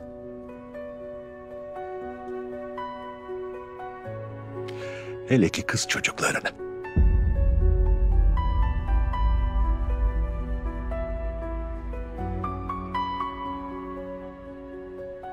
Aynı zihniyette olan erkek çocukları okula giderken kendileri gidemeyen kız çocukları. Sizden de özür diliyorum.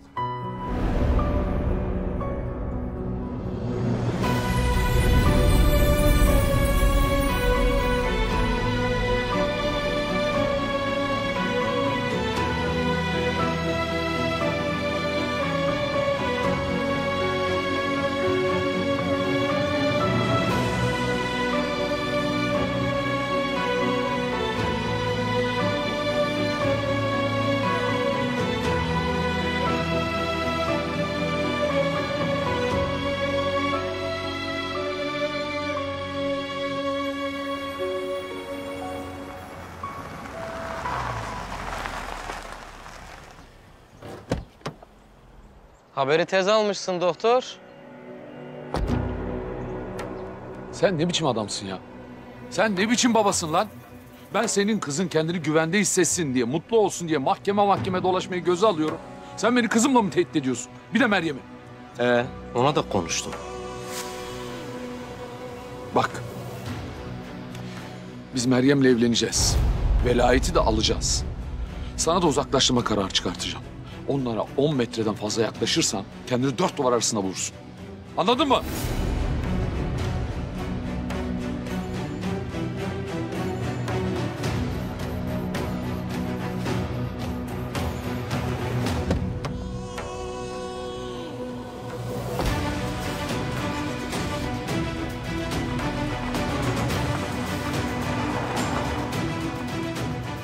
Daha seninle hesabım bitmedi doktor.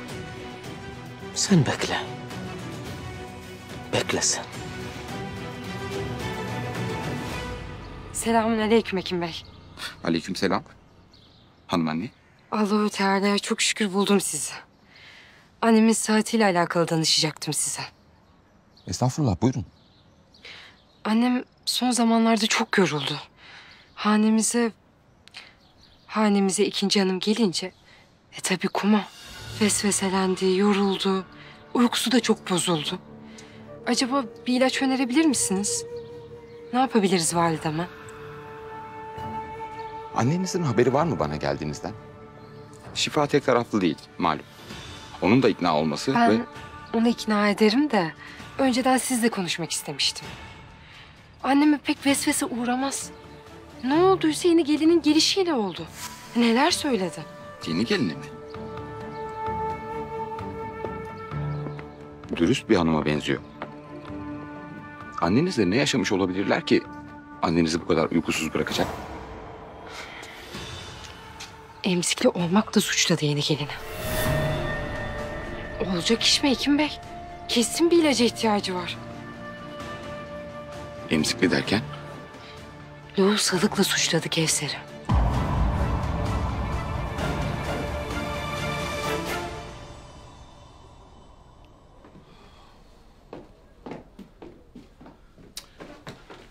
Selam hocam. Ya nerede kaldınız? Yakalandınız sandım. Ya hocam nelerle uğraşıyoruz bir bilseniz. Bu işler bir biteydi dinimizle imanımızla kurtulaydık ya. Kurtulacağız. Selamını aldım. Teşekkür ederim. Ne selamı? Ya benim kaşe soruşturmamla ilgili. Cüneyt bizi kurtardı. Ee, en azından öyle anladım. Ne araması? Sen, sen vardı o yüzden dedim ben dışarıya çıkayım diye. Soruyu çözdün ha. Yapmaş. Gel gel bir tane öpeyim ya. Gel gel. Oh maşallah. Vay senin akılların var ya akılların. O kadarı duruyor demek. Tekrar teşekkür ederim. Mira adına da. Estağfurullah. Var mı bir gelişme? Vallahi hocam meclisi meşayih dedik orada öyle bir şey attık yani. ya bu sizin şey gibi konseyiniz var ya onun gibi yani. Eğer Vahit büyük bir karar alacaksa onları ikna etmek zorunda. Ee? Bunun için de sizin o ima ettiğiniz güçlerden yardım istemek zorunda kalacak. İletişime geçecek yani. İletişime geçince de nerede olduğunu öğreneceğiz. Tekkede bir yerde ama nerede olduğunu bilmiyoruz. Ben artık bence gideyim. Şu meclis meselesine bakayım eksiki fazlası nedir diye şu koridorları halledeyim ki başımıza bir iş açılmasın tedbirimizi alalım. Cüneyt'im sen de çok geç kalma. Tamam merak etme çok geç kalmaz. Selam.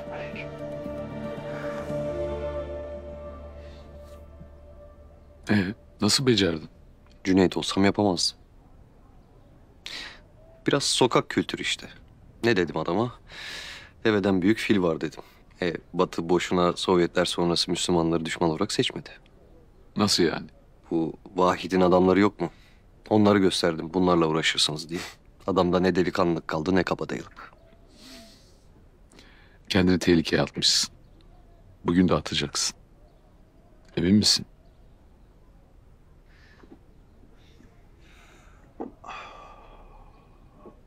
Çözmek zorundayım. Yoksa her şey boşa gidecek. Sen hep böyle biri miydin? Nasıl? Hep başkalarının dertleriyle uğraşan, kendinden hiç bahsetme. Mesleğim gereği diyelim. Aslında sana bahsediyordum. Bazen.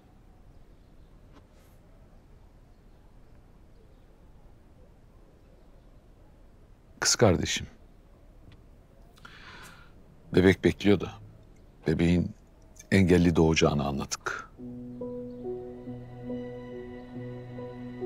Çok üzüldüm. Cüneyt olsa üzülmezdi. İnsanın en ilkel hali karanlıksa neden Down sendromlu insanlar bu kadar iyimser ve sevgi dolu demiştim bir keresinde. Öyleler mi? Yani bir tarafından bakarsan evet öyleler. En yoğun tepkilerini sevgi gördüklerinde gösteriyorlar. En şiddetli tepkilerini de sevgiyle gösteriyorlar. Aslında ilkel dürtülerle bağdaştırılabilir. Ne gibi? İnsanın en temel dürtüleridir beslenmek ve cinsellik. Sevgiye bu kadar yönelmelerinin sebebi primite bir davranış olabilir. Dokunmak, dokunulmak. Bunu ilkellik olarak da mucizevi olarak da görebiliriz ama. İnsanın yok edici bir canavar olmasını engelleyen belki de bu ilkel kod. Vice versa. Yani hem bilimsel hem mucizevi yoksa insanlığın soyu tükenirdi. Ama kardeşinin örneğinde böyle bir mucizevi gelişme yok sanırım. Evet. Çocuğu aldırmaya çalışıyor. Tutarlı olması için önemli olması gerekiyor yani. Anlamadım.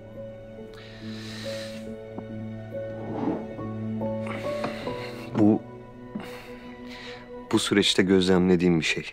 Nasıl anlatacağım bilmiyorum. Belki Cüneyt konuşuyordur bir yerlerde. Sen devam et, anlarız. Cassandra Damgası diye bir roman okumuştum kütüphanedeyken. Ait Matov.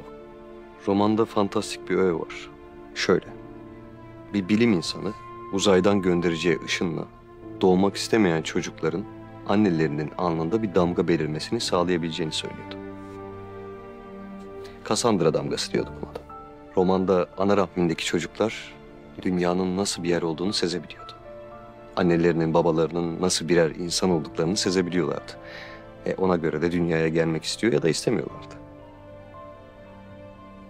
Çok etkileyiciymiş. Ama insanlık bu damgayı istemiyordu.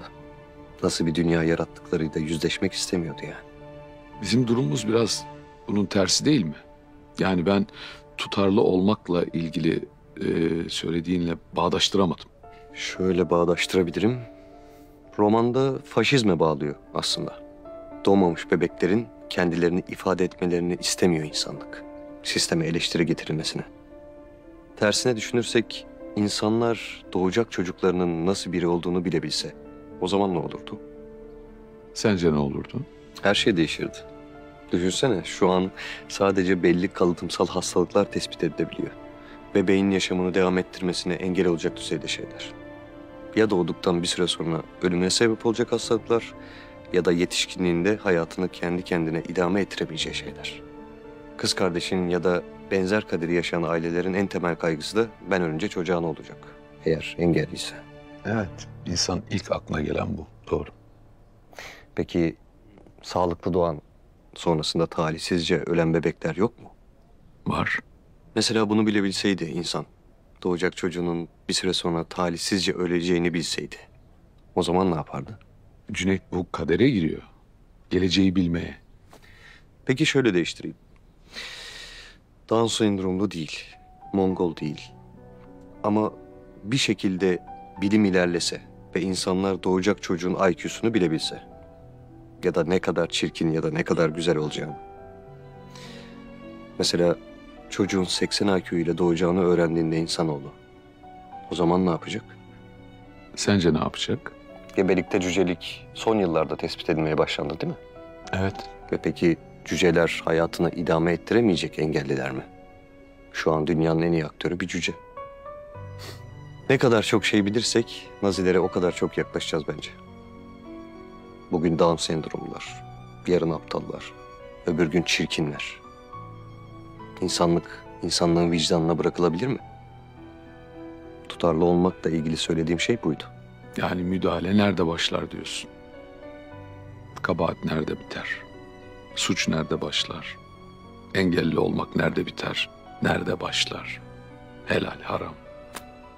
Bir hazret ahir zamanda Müslümanların en başa dönmesi gerektiğini söylemiş. İlmi halin ilk maddesi. Temiz suydu sanırım.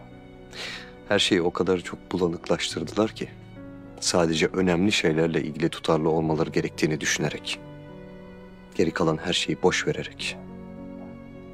Hatemül Evliya olmayı, İslam'ın sancağını, böyle koca koca kavramları ortaya attığın zaman basit kurallara uyup uymadığına kimse dönüp bakmıyor.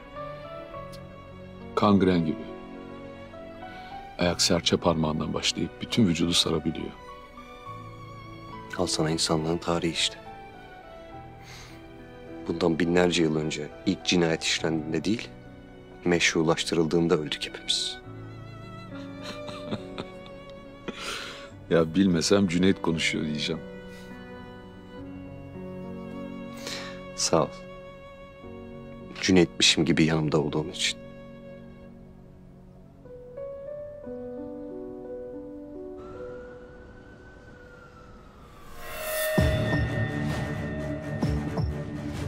Mute muharebesinden evvel ne demişti Resulullah Efendimiz? Zeyd şehit olursa yerine Cafer geçsin. Cafer şehit olursa yerine Abdullah.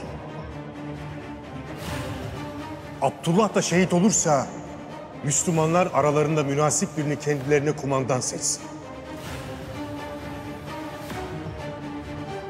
Rabbim münasip görmüşse ateşten gömleği giymek sırası da bana gelmiştir.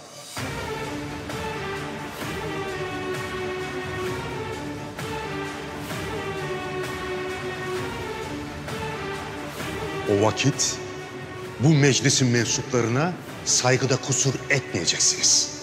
Onlar bugün misafirlerimiz, yarın neferlerimiz. Layıkıyla ağırlayacağız. Söylenenleri idrak ettiyseniz şayet zinhar, aksaklık istemez ha. Kapıda karşılanacaklar. Haydi. De haydi.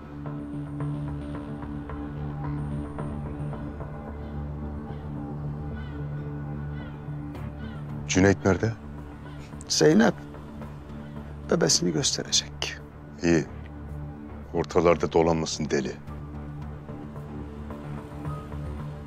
Selamünaleyküm Mürşit Hazretleri. Aleykümselam Naim Efendi de nedir bu halin? Böyle mühim bir gecede? benim bir e, maruzatım olacaktı ama hususi görüşsek. Şu anda telaşımız var. Sonra, sonra. Şimdi söylesen daha evla. Meryem'le alakalı. Bana bak. O mürtedin adını şimdi buralarda anıp da benim misafirlerim kulağına kar suyu kaçırma. Şekil.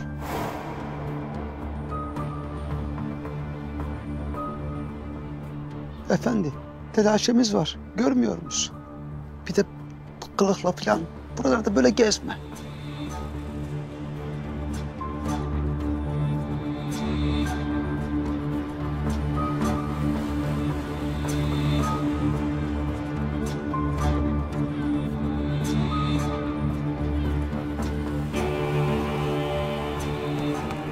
Selamünaleyküm. Ve aleyküm selam.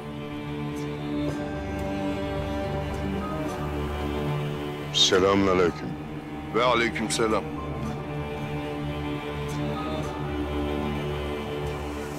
Selamünaleyküm. Ve aleyküm selam.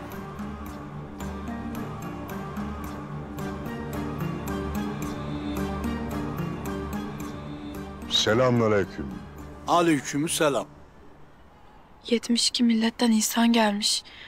Hangi kuvvet toplayabilir bunları? Öğreneceğiz. Meclis toplantısı başlasın, harekete geçeceğiz. Ama unutma, çok dikkatli olmamız lazım Zeynep. Sen şimdi git, Elif'i emanet et. Sonrasında avluda buluşalım. Herkesin dikkatinin dağıldığından emin olmamız lazım. Unutma.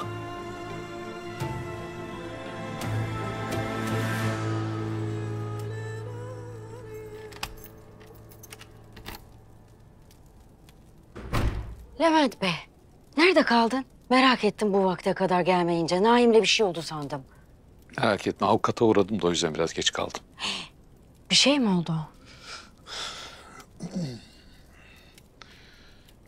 Yarından itibaren artık o hadsizle ilgili endişelenmene gerek yok. Avukatım ona bir uzaklaştırma kararı çıkartacak. Gelemeyecek yanımıza daha öyle mi? Hiç merak etme. Artık ne sana ne de Mira'ya yaklaşamaz. O hadsizin evliliğime engel olmasına izin verecek değilim herhalde. Evleniyoruz yani o zaman yarın. Aynen öyle. Rabbim şükrünü eda etmeyi nasip etsin. Meryem ben bir karar daha verdim. Hayırdır? Ee, hani şu gelmeyin dedikleri 10 Kasım anma resepsiyonu vardı ya. Adım temize çıkınca tekrar çağırdılar. Çok sevindim. Gözün aydın. Ben senin de gelmeni istiyorum. Levent Bey benim ne işim var öyle yerlerde? Müstakbel eşimin yanında istemem suç mu ya? Biz bu iş gizli kalacak diye konuştuk ya. Doğru, doğru. O zaman öyle doğru gelmişti. Ama asıl saklanırsak, utanırsak başkalarının ekmeğine yağ sürmüş olmuyor muyuz? Kimlerin? Senin gibilerle, benim gibilerin düşmanlığından beslenenleri. Korkuyorum ama ben. O kadar insanın lafı, bakışı. Ben de korkuyorum. Sen tanıdığım en güçlü kadınsın. Yahu sen yeri geldi benle babama haddini bildirdin. Ya sen o kadar tehdit almana rağmen Naim'den boşandın. Sen sındırı attın. Koskoca dergaha meydan okudun ya. Yeni bir savaşa daha gücüm kaldı mı bilmiyorum. Bak, Cüneyd'e çok sevdiğim bir yazarın sözünü söylemiştim. Kaçtığım bütün savaşların yaralarını taşıyorum.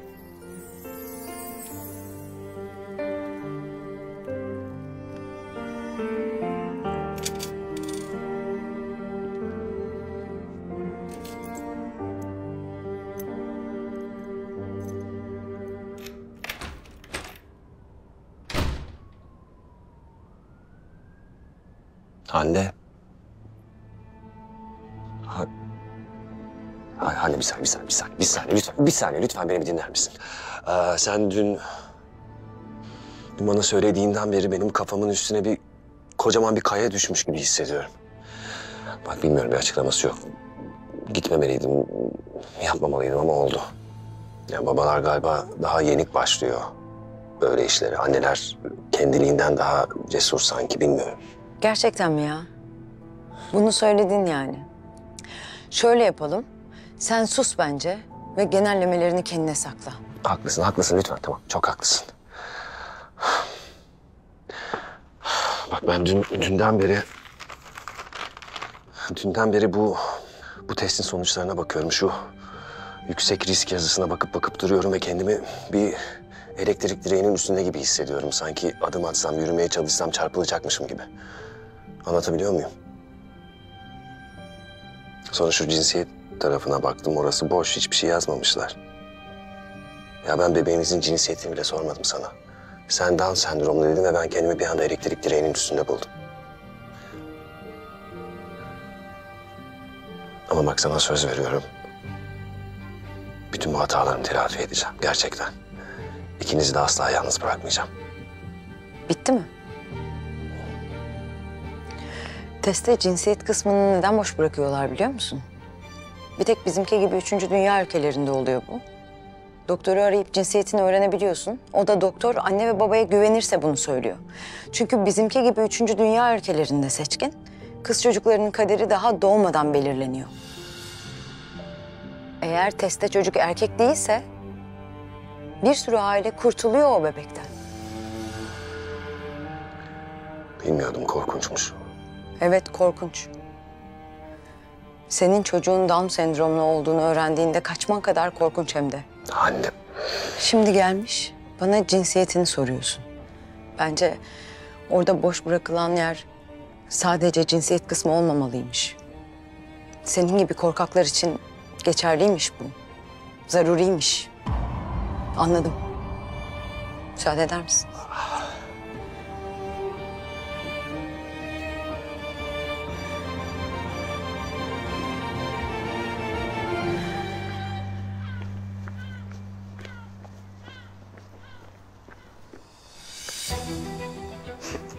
Çekil yolumdan efendim. Kevser. Bebeğim nerede?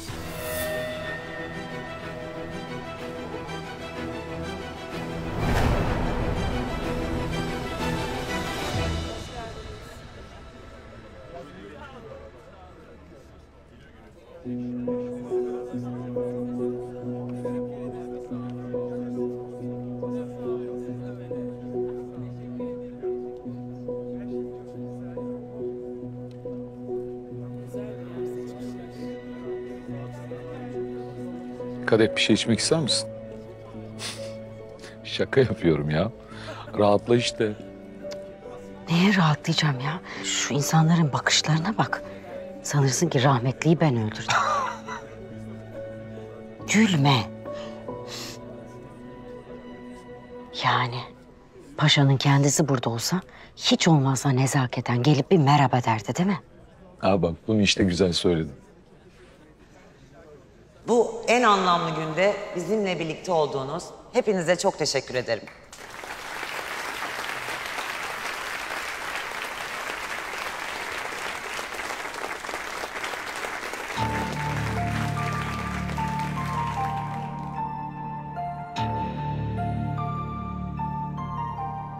Sebep? Ne diyor? E, Bir dakika, bir dakika Meryem. Zorla yani. Gidin mi diyor? Şimdi Bir dakika. Bir dakika. Müsaade eder misiniz? Lütfen.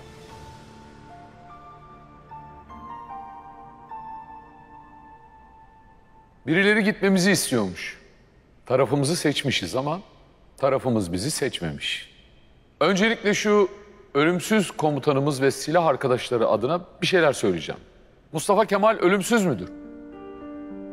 Evet, ölümsüzdür. Bunu artık düşmanları bile tartışmayı bırakmalıdır. Hegel, Platon, Lincoln, Gandhi ölümsüzlüğü tartışılmamalıdır. Peki Mustafa Kemal sadece bir komutan mıydı?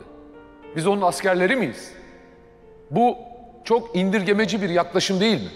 Emir komuta zincirinde bir üniformaya sahip. Gazi Paşa'nın giymek zorunda olmadığı zamanlarda çıkarmaktan keyif aldığı bu üniformaya onu hapsetmek doğru mu? Bunu yaptığımızın farkında mısınız? Silah arkadaşları. Ali Fethi silah arkadaşı mıydı? Dünyaya gelmiş geçmiş en büyük diplomatlardan biri. Doktor Adnan adı var. Silah arkadaşlarım. Çocuk felci aşısını bulmaya ömrünü adamış biri. Afet İnan, silah arkadaşım. Medeniyet tarihinin sosyolojisini araştırması için bizzat yetiştirilmiş biriydi. Nuri Conker, Ali Fuat Başgil. Bunlar sadece asker miydi? Bunlar daha ötesiydi. Mustafa Kemal sadece bir asker değildir. Mustafa Kemal sadece bir siyasetçi değildir. Mustafa Kemal hepsidir ve daha fazlasıdır. Mustafa Kemal bir fikir adamıdır. Yaşasın Mustafa Kemal ve fikir arkadaşları demeyi yeğlerim.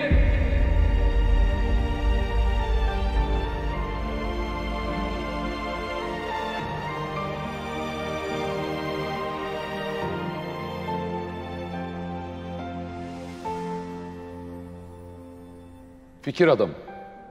Fikir adamları ne değildir biliyor musunuz? Yobaz değillerdir. Bu kadar. Her zaman düşünmeye, üretmeye ve çare aramaya çalışırlar. Mustafa Kemal de ömrü boyunca bunu yapmış biridir. Bu toplum için, bu toplumu bir arada tutabilmek için bu gereklidir. Belki her zaman her şeyin doğrusunu bulamamıştır ama aramaktan vazgeçmemiştir. Yöntemleri bugün öteki taraf dediğimiz kesim tarafından tartışılır. Tartışılmalıdır da. 100 yıllık ekonomik modeli tartışılır. Tartışılmalıdır da. Hala haklı olduğu taraflar olmasına rağmen dış politikası tartışılır. Tartışılmalıdır da. Emin olun Gazi bugün yaşıyor olsaydı bütün bunları kendisi de tartışmaya açardı. Bir tek neyi tartışmazdı biliyor musunuz? Bu milletin evlatlarının izzetini, haysiyetini tartışmazdı. Ben neden Mustafa Kemal'i çok seviyorum biliyor musunuz? Dünyada hiçbir lider yoktur ki Mustafa Kemal kadar kendi milletinin izzetini, haysiyetini düşünsün. İstediğiniz kadar toprak fethedin. Eğer milletiniz açsa, mutsuzsa ne fayda? Mustafa Kemal küçük bir ülke hayaliyle yetindi diyebilir birileri. Ama Mustafa Kemal kendi evlatları ücretsiz eğitim alabilsin istedi.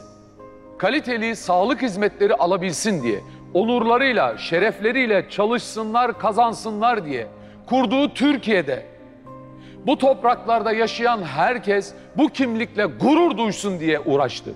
Böyle bir adamdı Mustafa Kemal.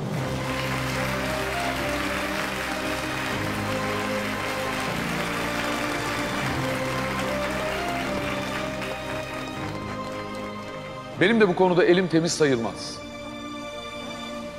Maalesef. Bizi tam da buradan ayrıştırmaya çalışan insanların tuzağına düştüm. Öfkeme yenik düştüm. Evet.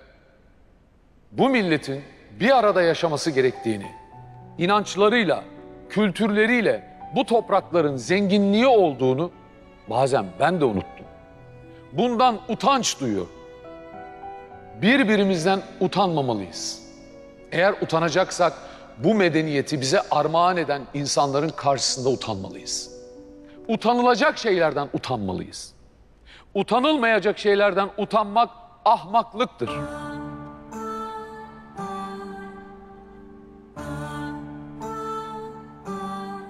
Meryem İlbaş.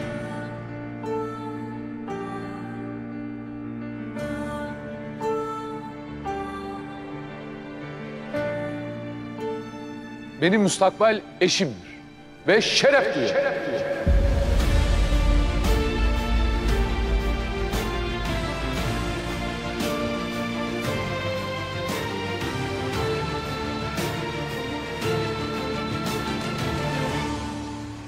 Bir defa daha ehlen ve sehlen. Ayaklarınıza sağlık. Bizi kırmadınız, teşrif ettiniz. Biz burada biriz. Birlikteyiz. Bizi gömmeye çalışan kafirlerin fikirleri can çekişirken bizler dimdik ayaktayız. Onların o münafıkça lafları ayaklarımızın altında silinip giderken bizler Allah'ın kelamına sımsıkı sarılmışız. Onların fikirleri temelden çatır çatır çatırdarken bizim meclisimiz yani meclisi meşayihimiz sapa sağlam ayaktadır.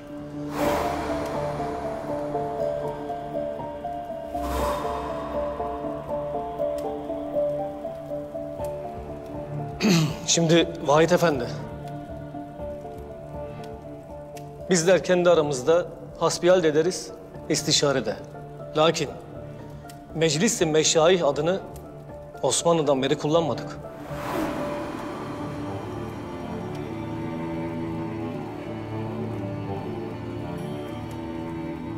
Ne diyor Rabbimiz? Onlar Rablerinin çağrılarına uyarlar ve namazı dosdoğru kılarlar. Aralarındaki işleri istişare ederek çözerler. Kendilerine verdiğimiz rızıklardan da Allah yolunda harcarlar. İyi mümin istişare eder. Bizim isimlerimizden ürkenlerden korkacak, sakınacak halimiz yok. İstişare ettiğimiz bu yer meclisi müşayihtir. Yolların buluştuğu. Şüphesiz ki meclisimizin varlığı sırları gibi daimidir ve kadimdir. Meclisin mensupliğu da, sırları da devredilir durur. Lakin kendi atıl haldedir.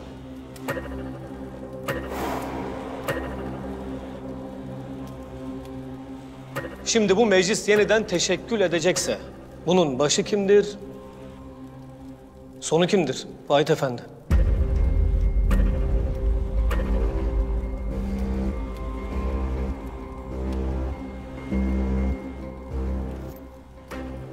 Eğer baş düşmanla savaşta iken en önde olmak demek ise benim boynumun üstündeki başım fedadır. Onlar mele ise bizler imamlarız. Onlar müstekbir ise bizler fedakarız. Sizleri bu yüzden davet ettim. Eğer müsaadeniz olur ise bu meclisin başı yani şeyhül müşayih olmak vazifesini ben sırtlanmak isterim.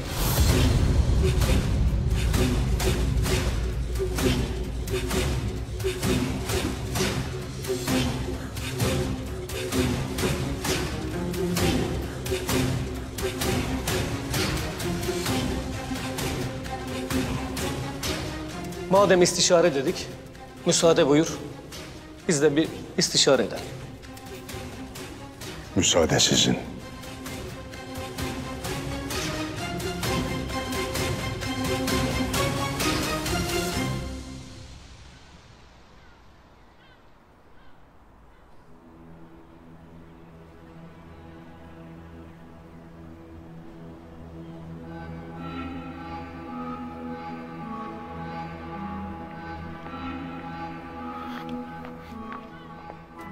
Hepsi girdi. Şeyler girdi. Mahiyetlerinden birkaç adam kaldı sadece. Sen Vahit buharlaşıp gitti dedin ya. Ya bulamazsak ne yaptığını? Fırsat bu fırsat Zeynep. Bulduk bulduk. Haydi meclise alana kadar vaktimiz var. Haydi.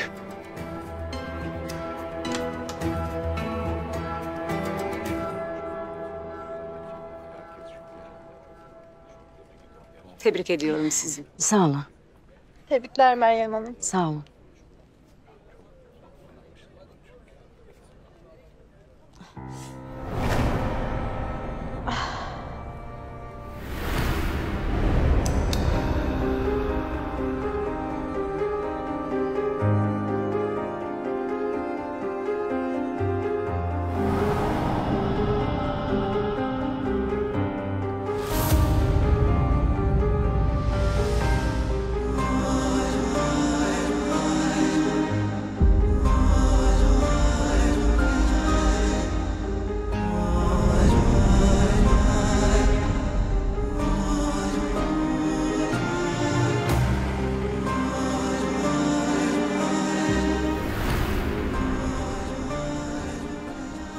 Misiniz?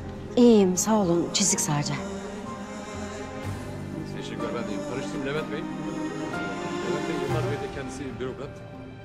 E, misafirlerim hazır. İsterseniz bir konuşalım, görüşelim. Buyurun lütfen.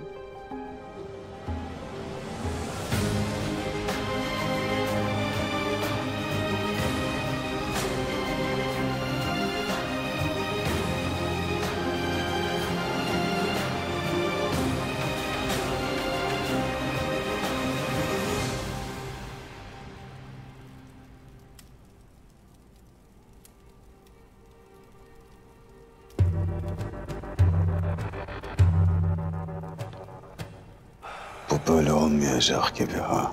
Motivasyon lazım diyorsun he? Var kardeşim. Merak etme var.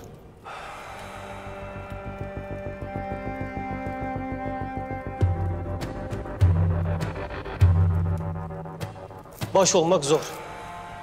Hele bizim gövdemizin üzerindeki baş olacaksan, bizim de o başı taşıyacak kadar kuvvetli olmamız icap eder. Arkanda cenk edecek ordunun kuvveti, senin de kuvvetin. Bu yüzden evvela senin bize destek çıkman icap eder. Hoca Hazretleri, bize şu Bekkai'nin hikayesini bir anlat hele. Şimdi Tebük gazvesinden evvel birkaç tane sahabe, daha doğrusu aha sizin gibi böyle, yedi tane. Peygamber Efendimiz sallallahu aleyhi ve sellemin yanına geliyor. Ve diyorlar ki, biz de sizinle beraber cenk etmek istiyoruz. E fakat geçmiş zaman elde yok, avuçta yok, binek yok, imkan yok. E tabi olamıyor. İşte bu mevzunun adı Bekain'dir. Lakin sonra ne oluyor? Sonra geride kalan üç kişi diğerleri için binek buluyorlar. Ondan sonra da hep beraber cenk ediyorlar. Ben sizin benim ardımdan savaşmak için yanıp tutuştuğunuzu anladım.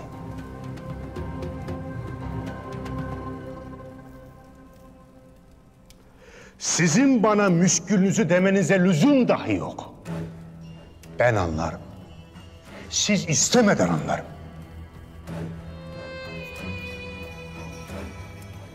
Şeyhiniz sizi harp meydanında bineksiz bırakır mı hiç?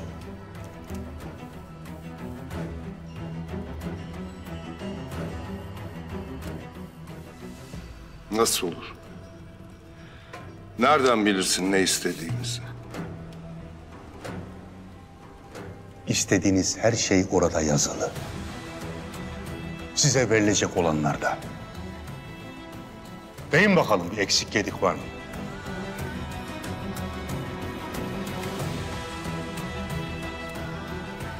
Yedi sahabeye binek getiren üç sahabe. Biri sen.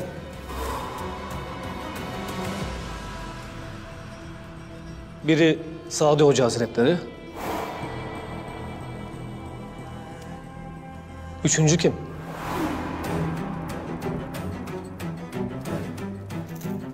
Mülk Allah'ındır şey hazretleri. Üzümüye bağını sorma.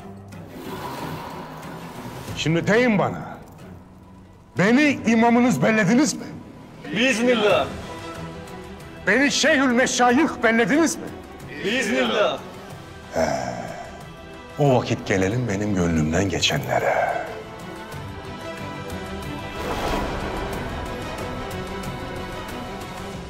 Burası mı emin misin? Bilmiyoruz ki görmedik girdiğini. Hardiye'ymiş buralar. Sadi Hüdayi söyledi.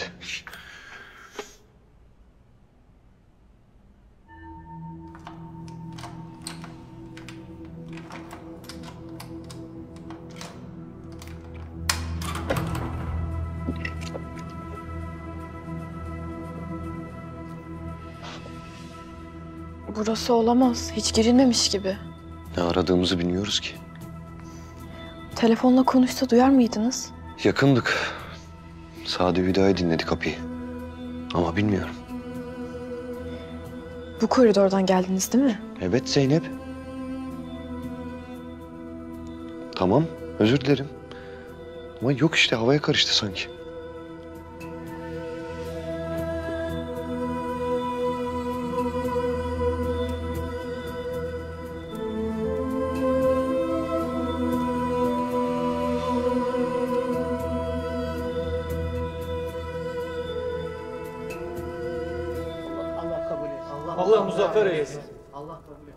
Amin. Amin. Sizlerden istediğim sorusunu bilmediğim bir cevap. Hikmetini bilmediğim bir sır. Şöyle soracağım. Hak eden biri bu meclise gelip de hangi sırrı taşıyorsun diye sual ettiğinde ne cevap vereceksiniz? Babanın da bildiği sırlar. Mürşit Efendi söylemedi mi sana? Rahmetli babam malum. Bir mürtedin elinde can verdi. Mukadderat diyelim. Vakit saat. Lakin gidişi ani oldu. Bana da kardeşim Sadi Hüdayi Efendi'ye de hazırlığını devredemedi. Peki hazırlıksız olması onun eksiği değil mi? Bir sandığımız var. Her 50 senede bir diğerimize hicret eder. Mahiyetimizden ayırmayız. Emanet bendedir. Sırlarımız, mirasımız hep ondadır. Cevabını aradığın suali bilmeyiz. Lakin bizdeki tek cevap budur. Sandık Şeyhül Meşayih'a teslim edilecektir.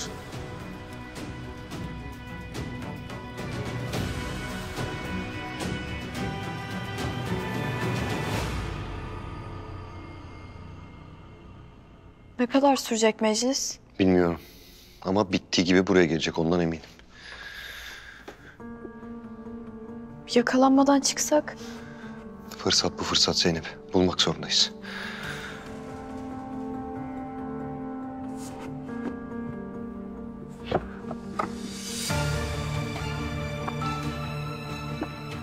Ben bu sandığa bakacağım. Belki içine telefon falan saklamıştır. Sen etrafa baksana anahtar falan var mı diye.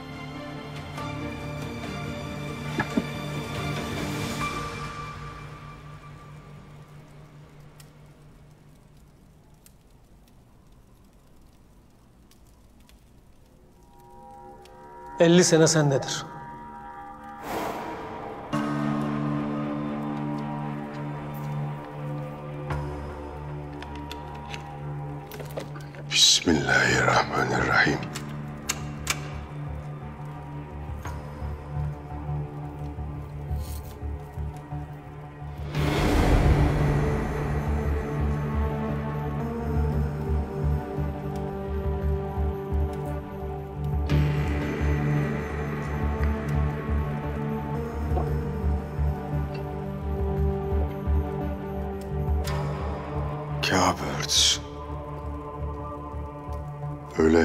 Hazretleri, öyle.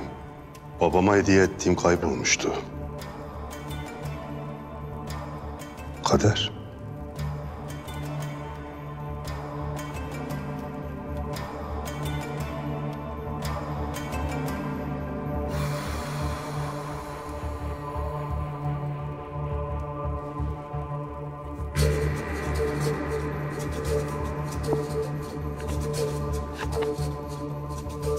Yazması.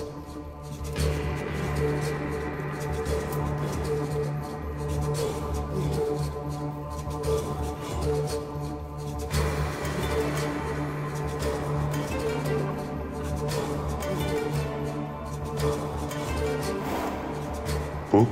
Gözde emanetimiz. Nakıbül Eşraf'ın yani Peygamber Efendimiz Aleyhisselatu Vesselam'ın soyundan gelenlerin şeceresini tutan eşrafın kendi şeceresi. Abbasilerden bugüne. Nakibül Eşraf.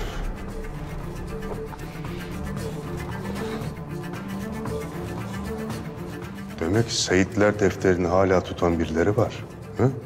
Şecere-i Tayyibe, Seyit ve Seyidelerin kaydı adıyla, atasıyla ve toprağıyla tutulur hala.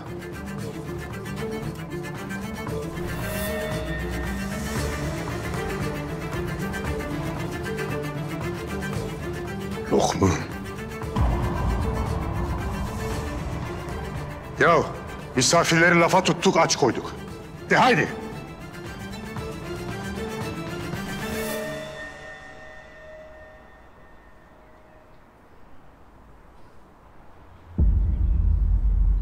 Yine sen.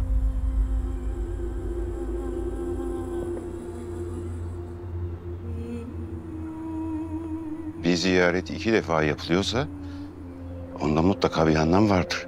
Senin ziyaretinde olduğu gibi mi efendi?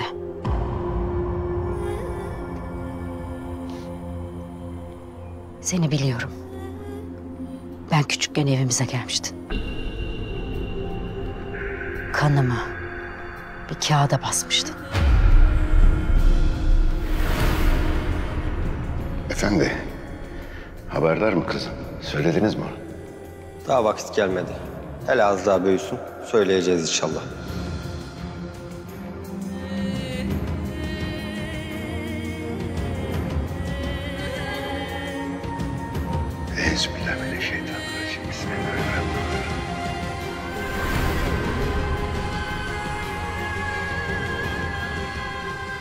Hatırladın değil mi efendi?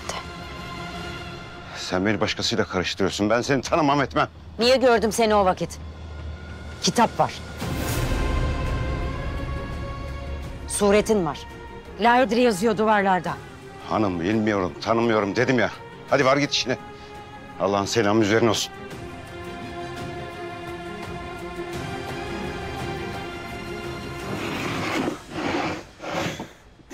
Bu olur mu ki? En az sandık kadar eski.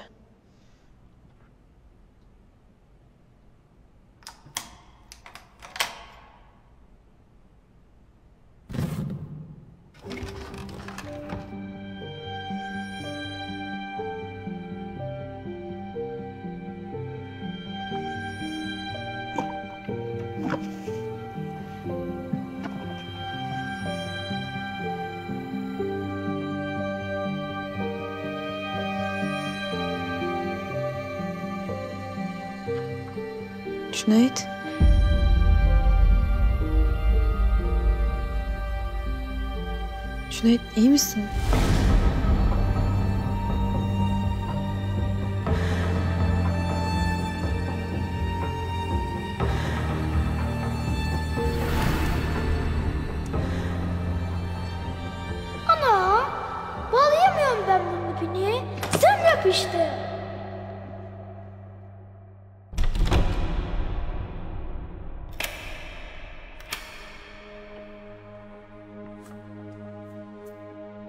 kendin bağla. Anan hizmetkarı mı senin?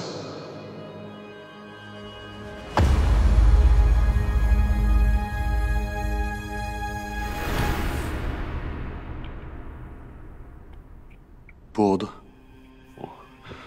O odadayız. Çetik. Çetiğim vardı. Vahit. Vahit kapıdan geldi. Nerede? Cüneyt ne oluyor? Burada bir kapı olması lazım Zeynep. Cüneyt sen nasıl nasıl hatırladın? Yardım et.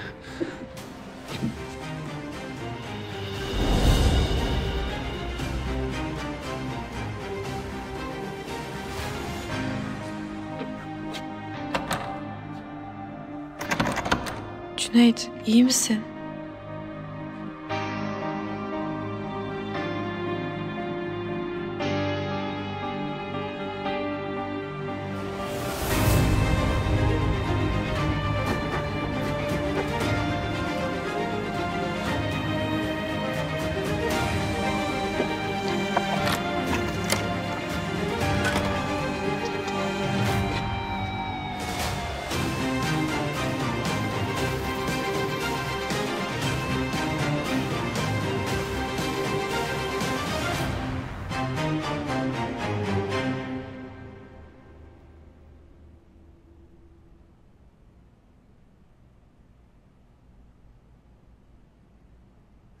Görüşüyormuş?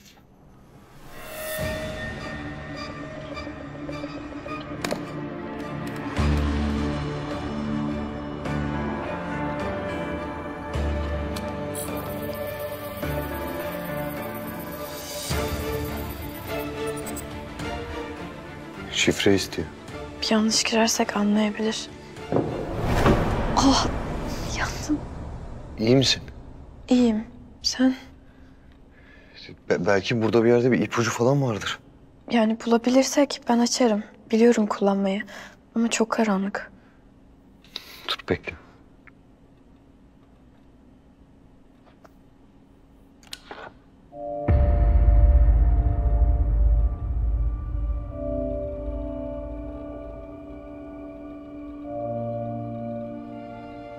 Müjdem.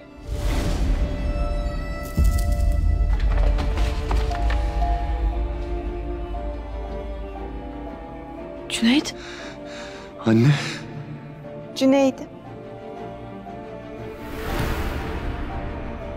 Atlayayım mı oğlum? Atla anne.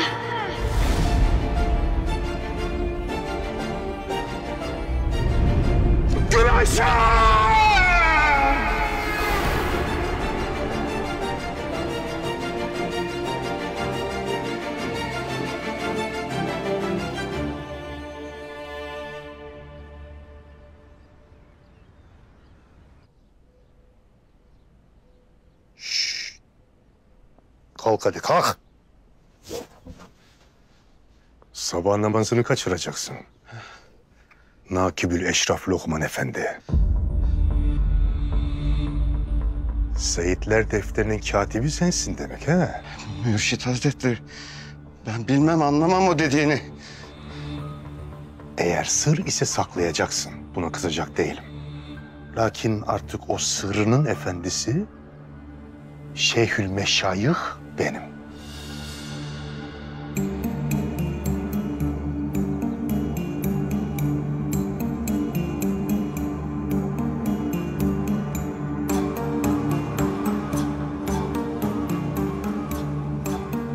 Doğrudur. Defteri ben tutarım. Şeyhim de sensin affet. Kitabın beni buraya getirdi Lokman Efendi. Sana cevap vermeme lüzum yok. Sana soru sormama da lüzum yok. Lakin sende tek bir cevap var, o da vazifen. Seyitlerin isimlerini tek tek istiyorum. O soyu önüme dökeceksin. Kitap var. Suretin var. Laidri yazıyor duvarlarda.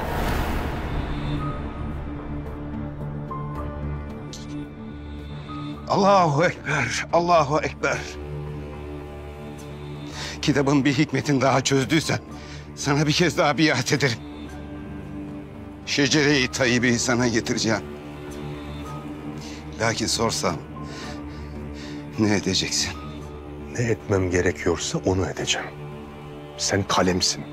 Kelamın işine karışma. Mürşit Hazretleri hikmet de hüküm de senindir.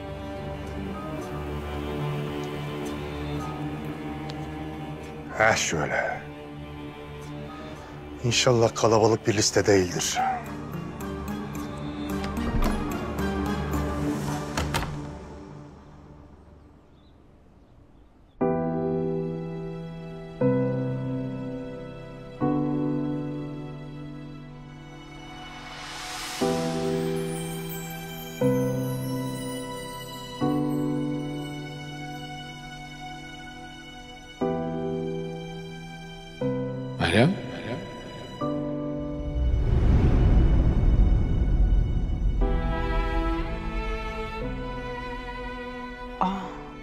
Kadar çok şey olmuşsun.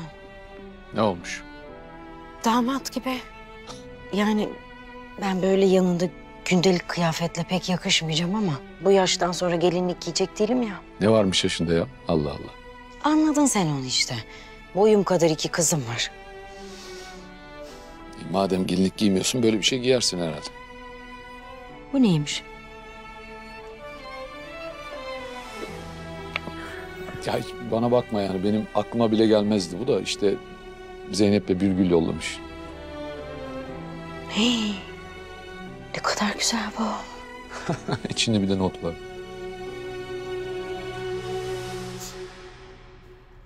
Kara bulutlar geride kaldı.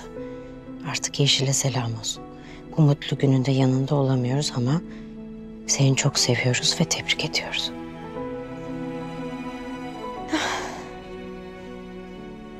Ağlamaya başladın yine. Diyorum sana ben hediye falan alamıyorum işte böyle. E hadi hazırlan çıkalım. Levent Bey. Kara bulutlar sahiden yok olacak mı? Olacak. Artık her gün bir öncekinden daha aydınlık olacak. Sana söz.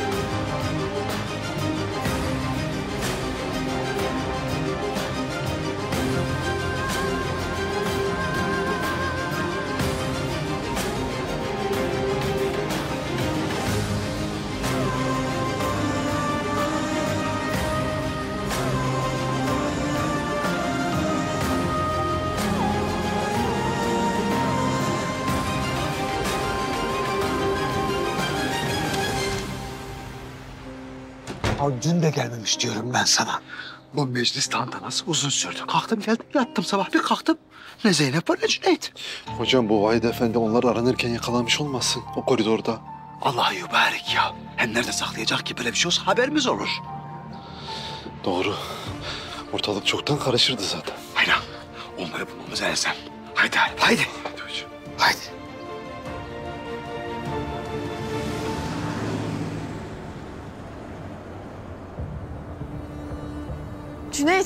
Allah aşkına dur. Korkuyorum.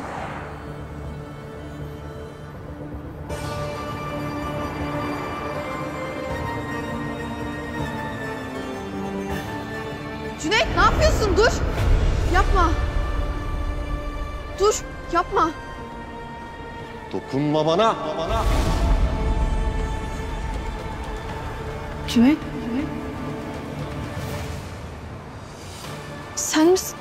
Döndün mü? Cüneyt.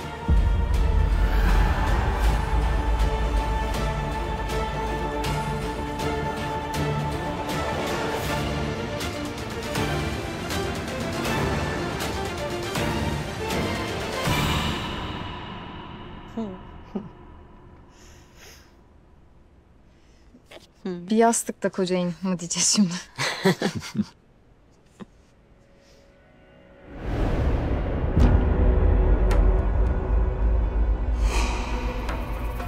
Naim.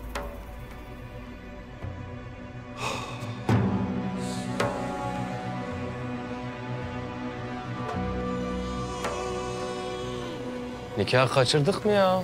Hay Allah. Abi polis çağıralım. Naim Allah aşkına git buradan. Meryem.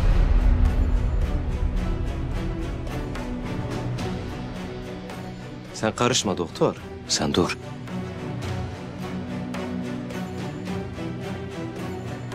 Ne oldu Meryem? Kıza zarar vereceğimden mi korktun? Ben sana söyledim ama. Ne dedim? Bak bu işte günahsızların canı yanacak dedim. Sen ne yaptın? Hep yaptığın gibi kafanın dikine gittin. inat ettin. Naim polis çağıracağım. Defol git buradan. Naim. Yalvarıyorum. Git buradan. Niye yalvarıyorsun ya? Hayırdır? Sen benim buraya niye geldiğimi biliyor musun?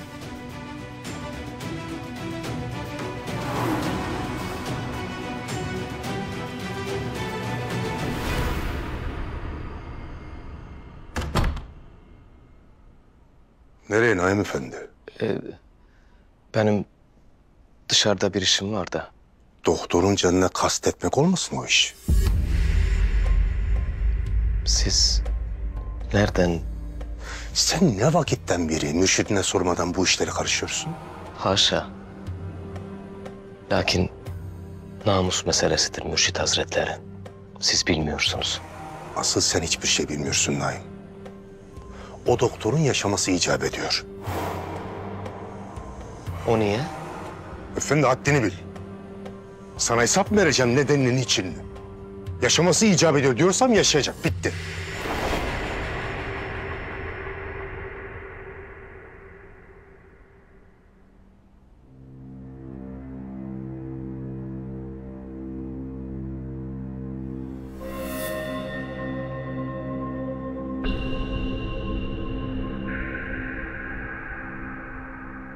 Ha şöyle. Söz dinleyeni mükafatlandırmayı da biliriz. Ne mükafatı? O kafir doktoru bir kere de öldürmektense her gün öldürmeye ne dersin? Şimdi kulağına ömrünün en büyük sırrını üfleyeceğim.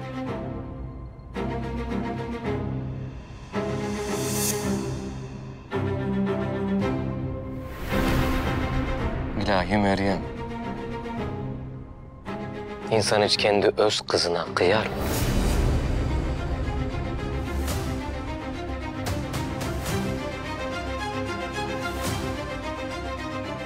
Babana bir selamun aleyküm demek yok mu? Hakkınalı kuzum benim.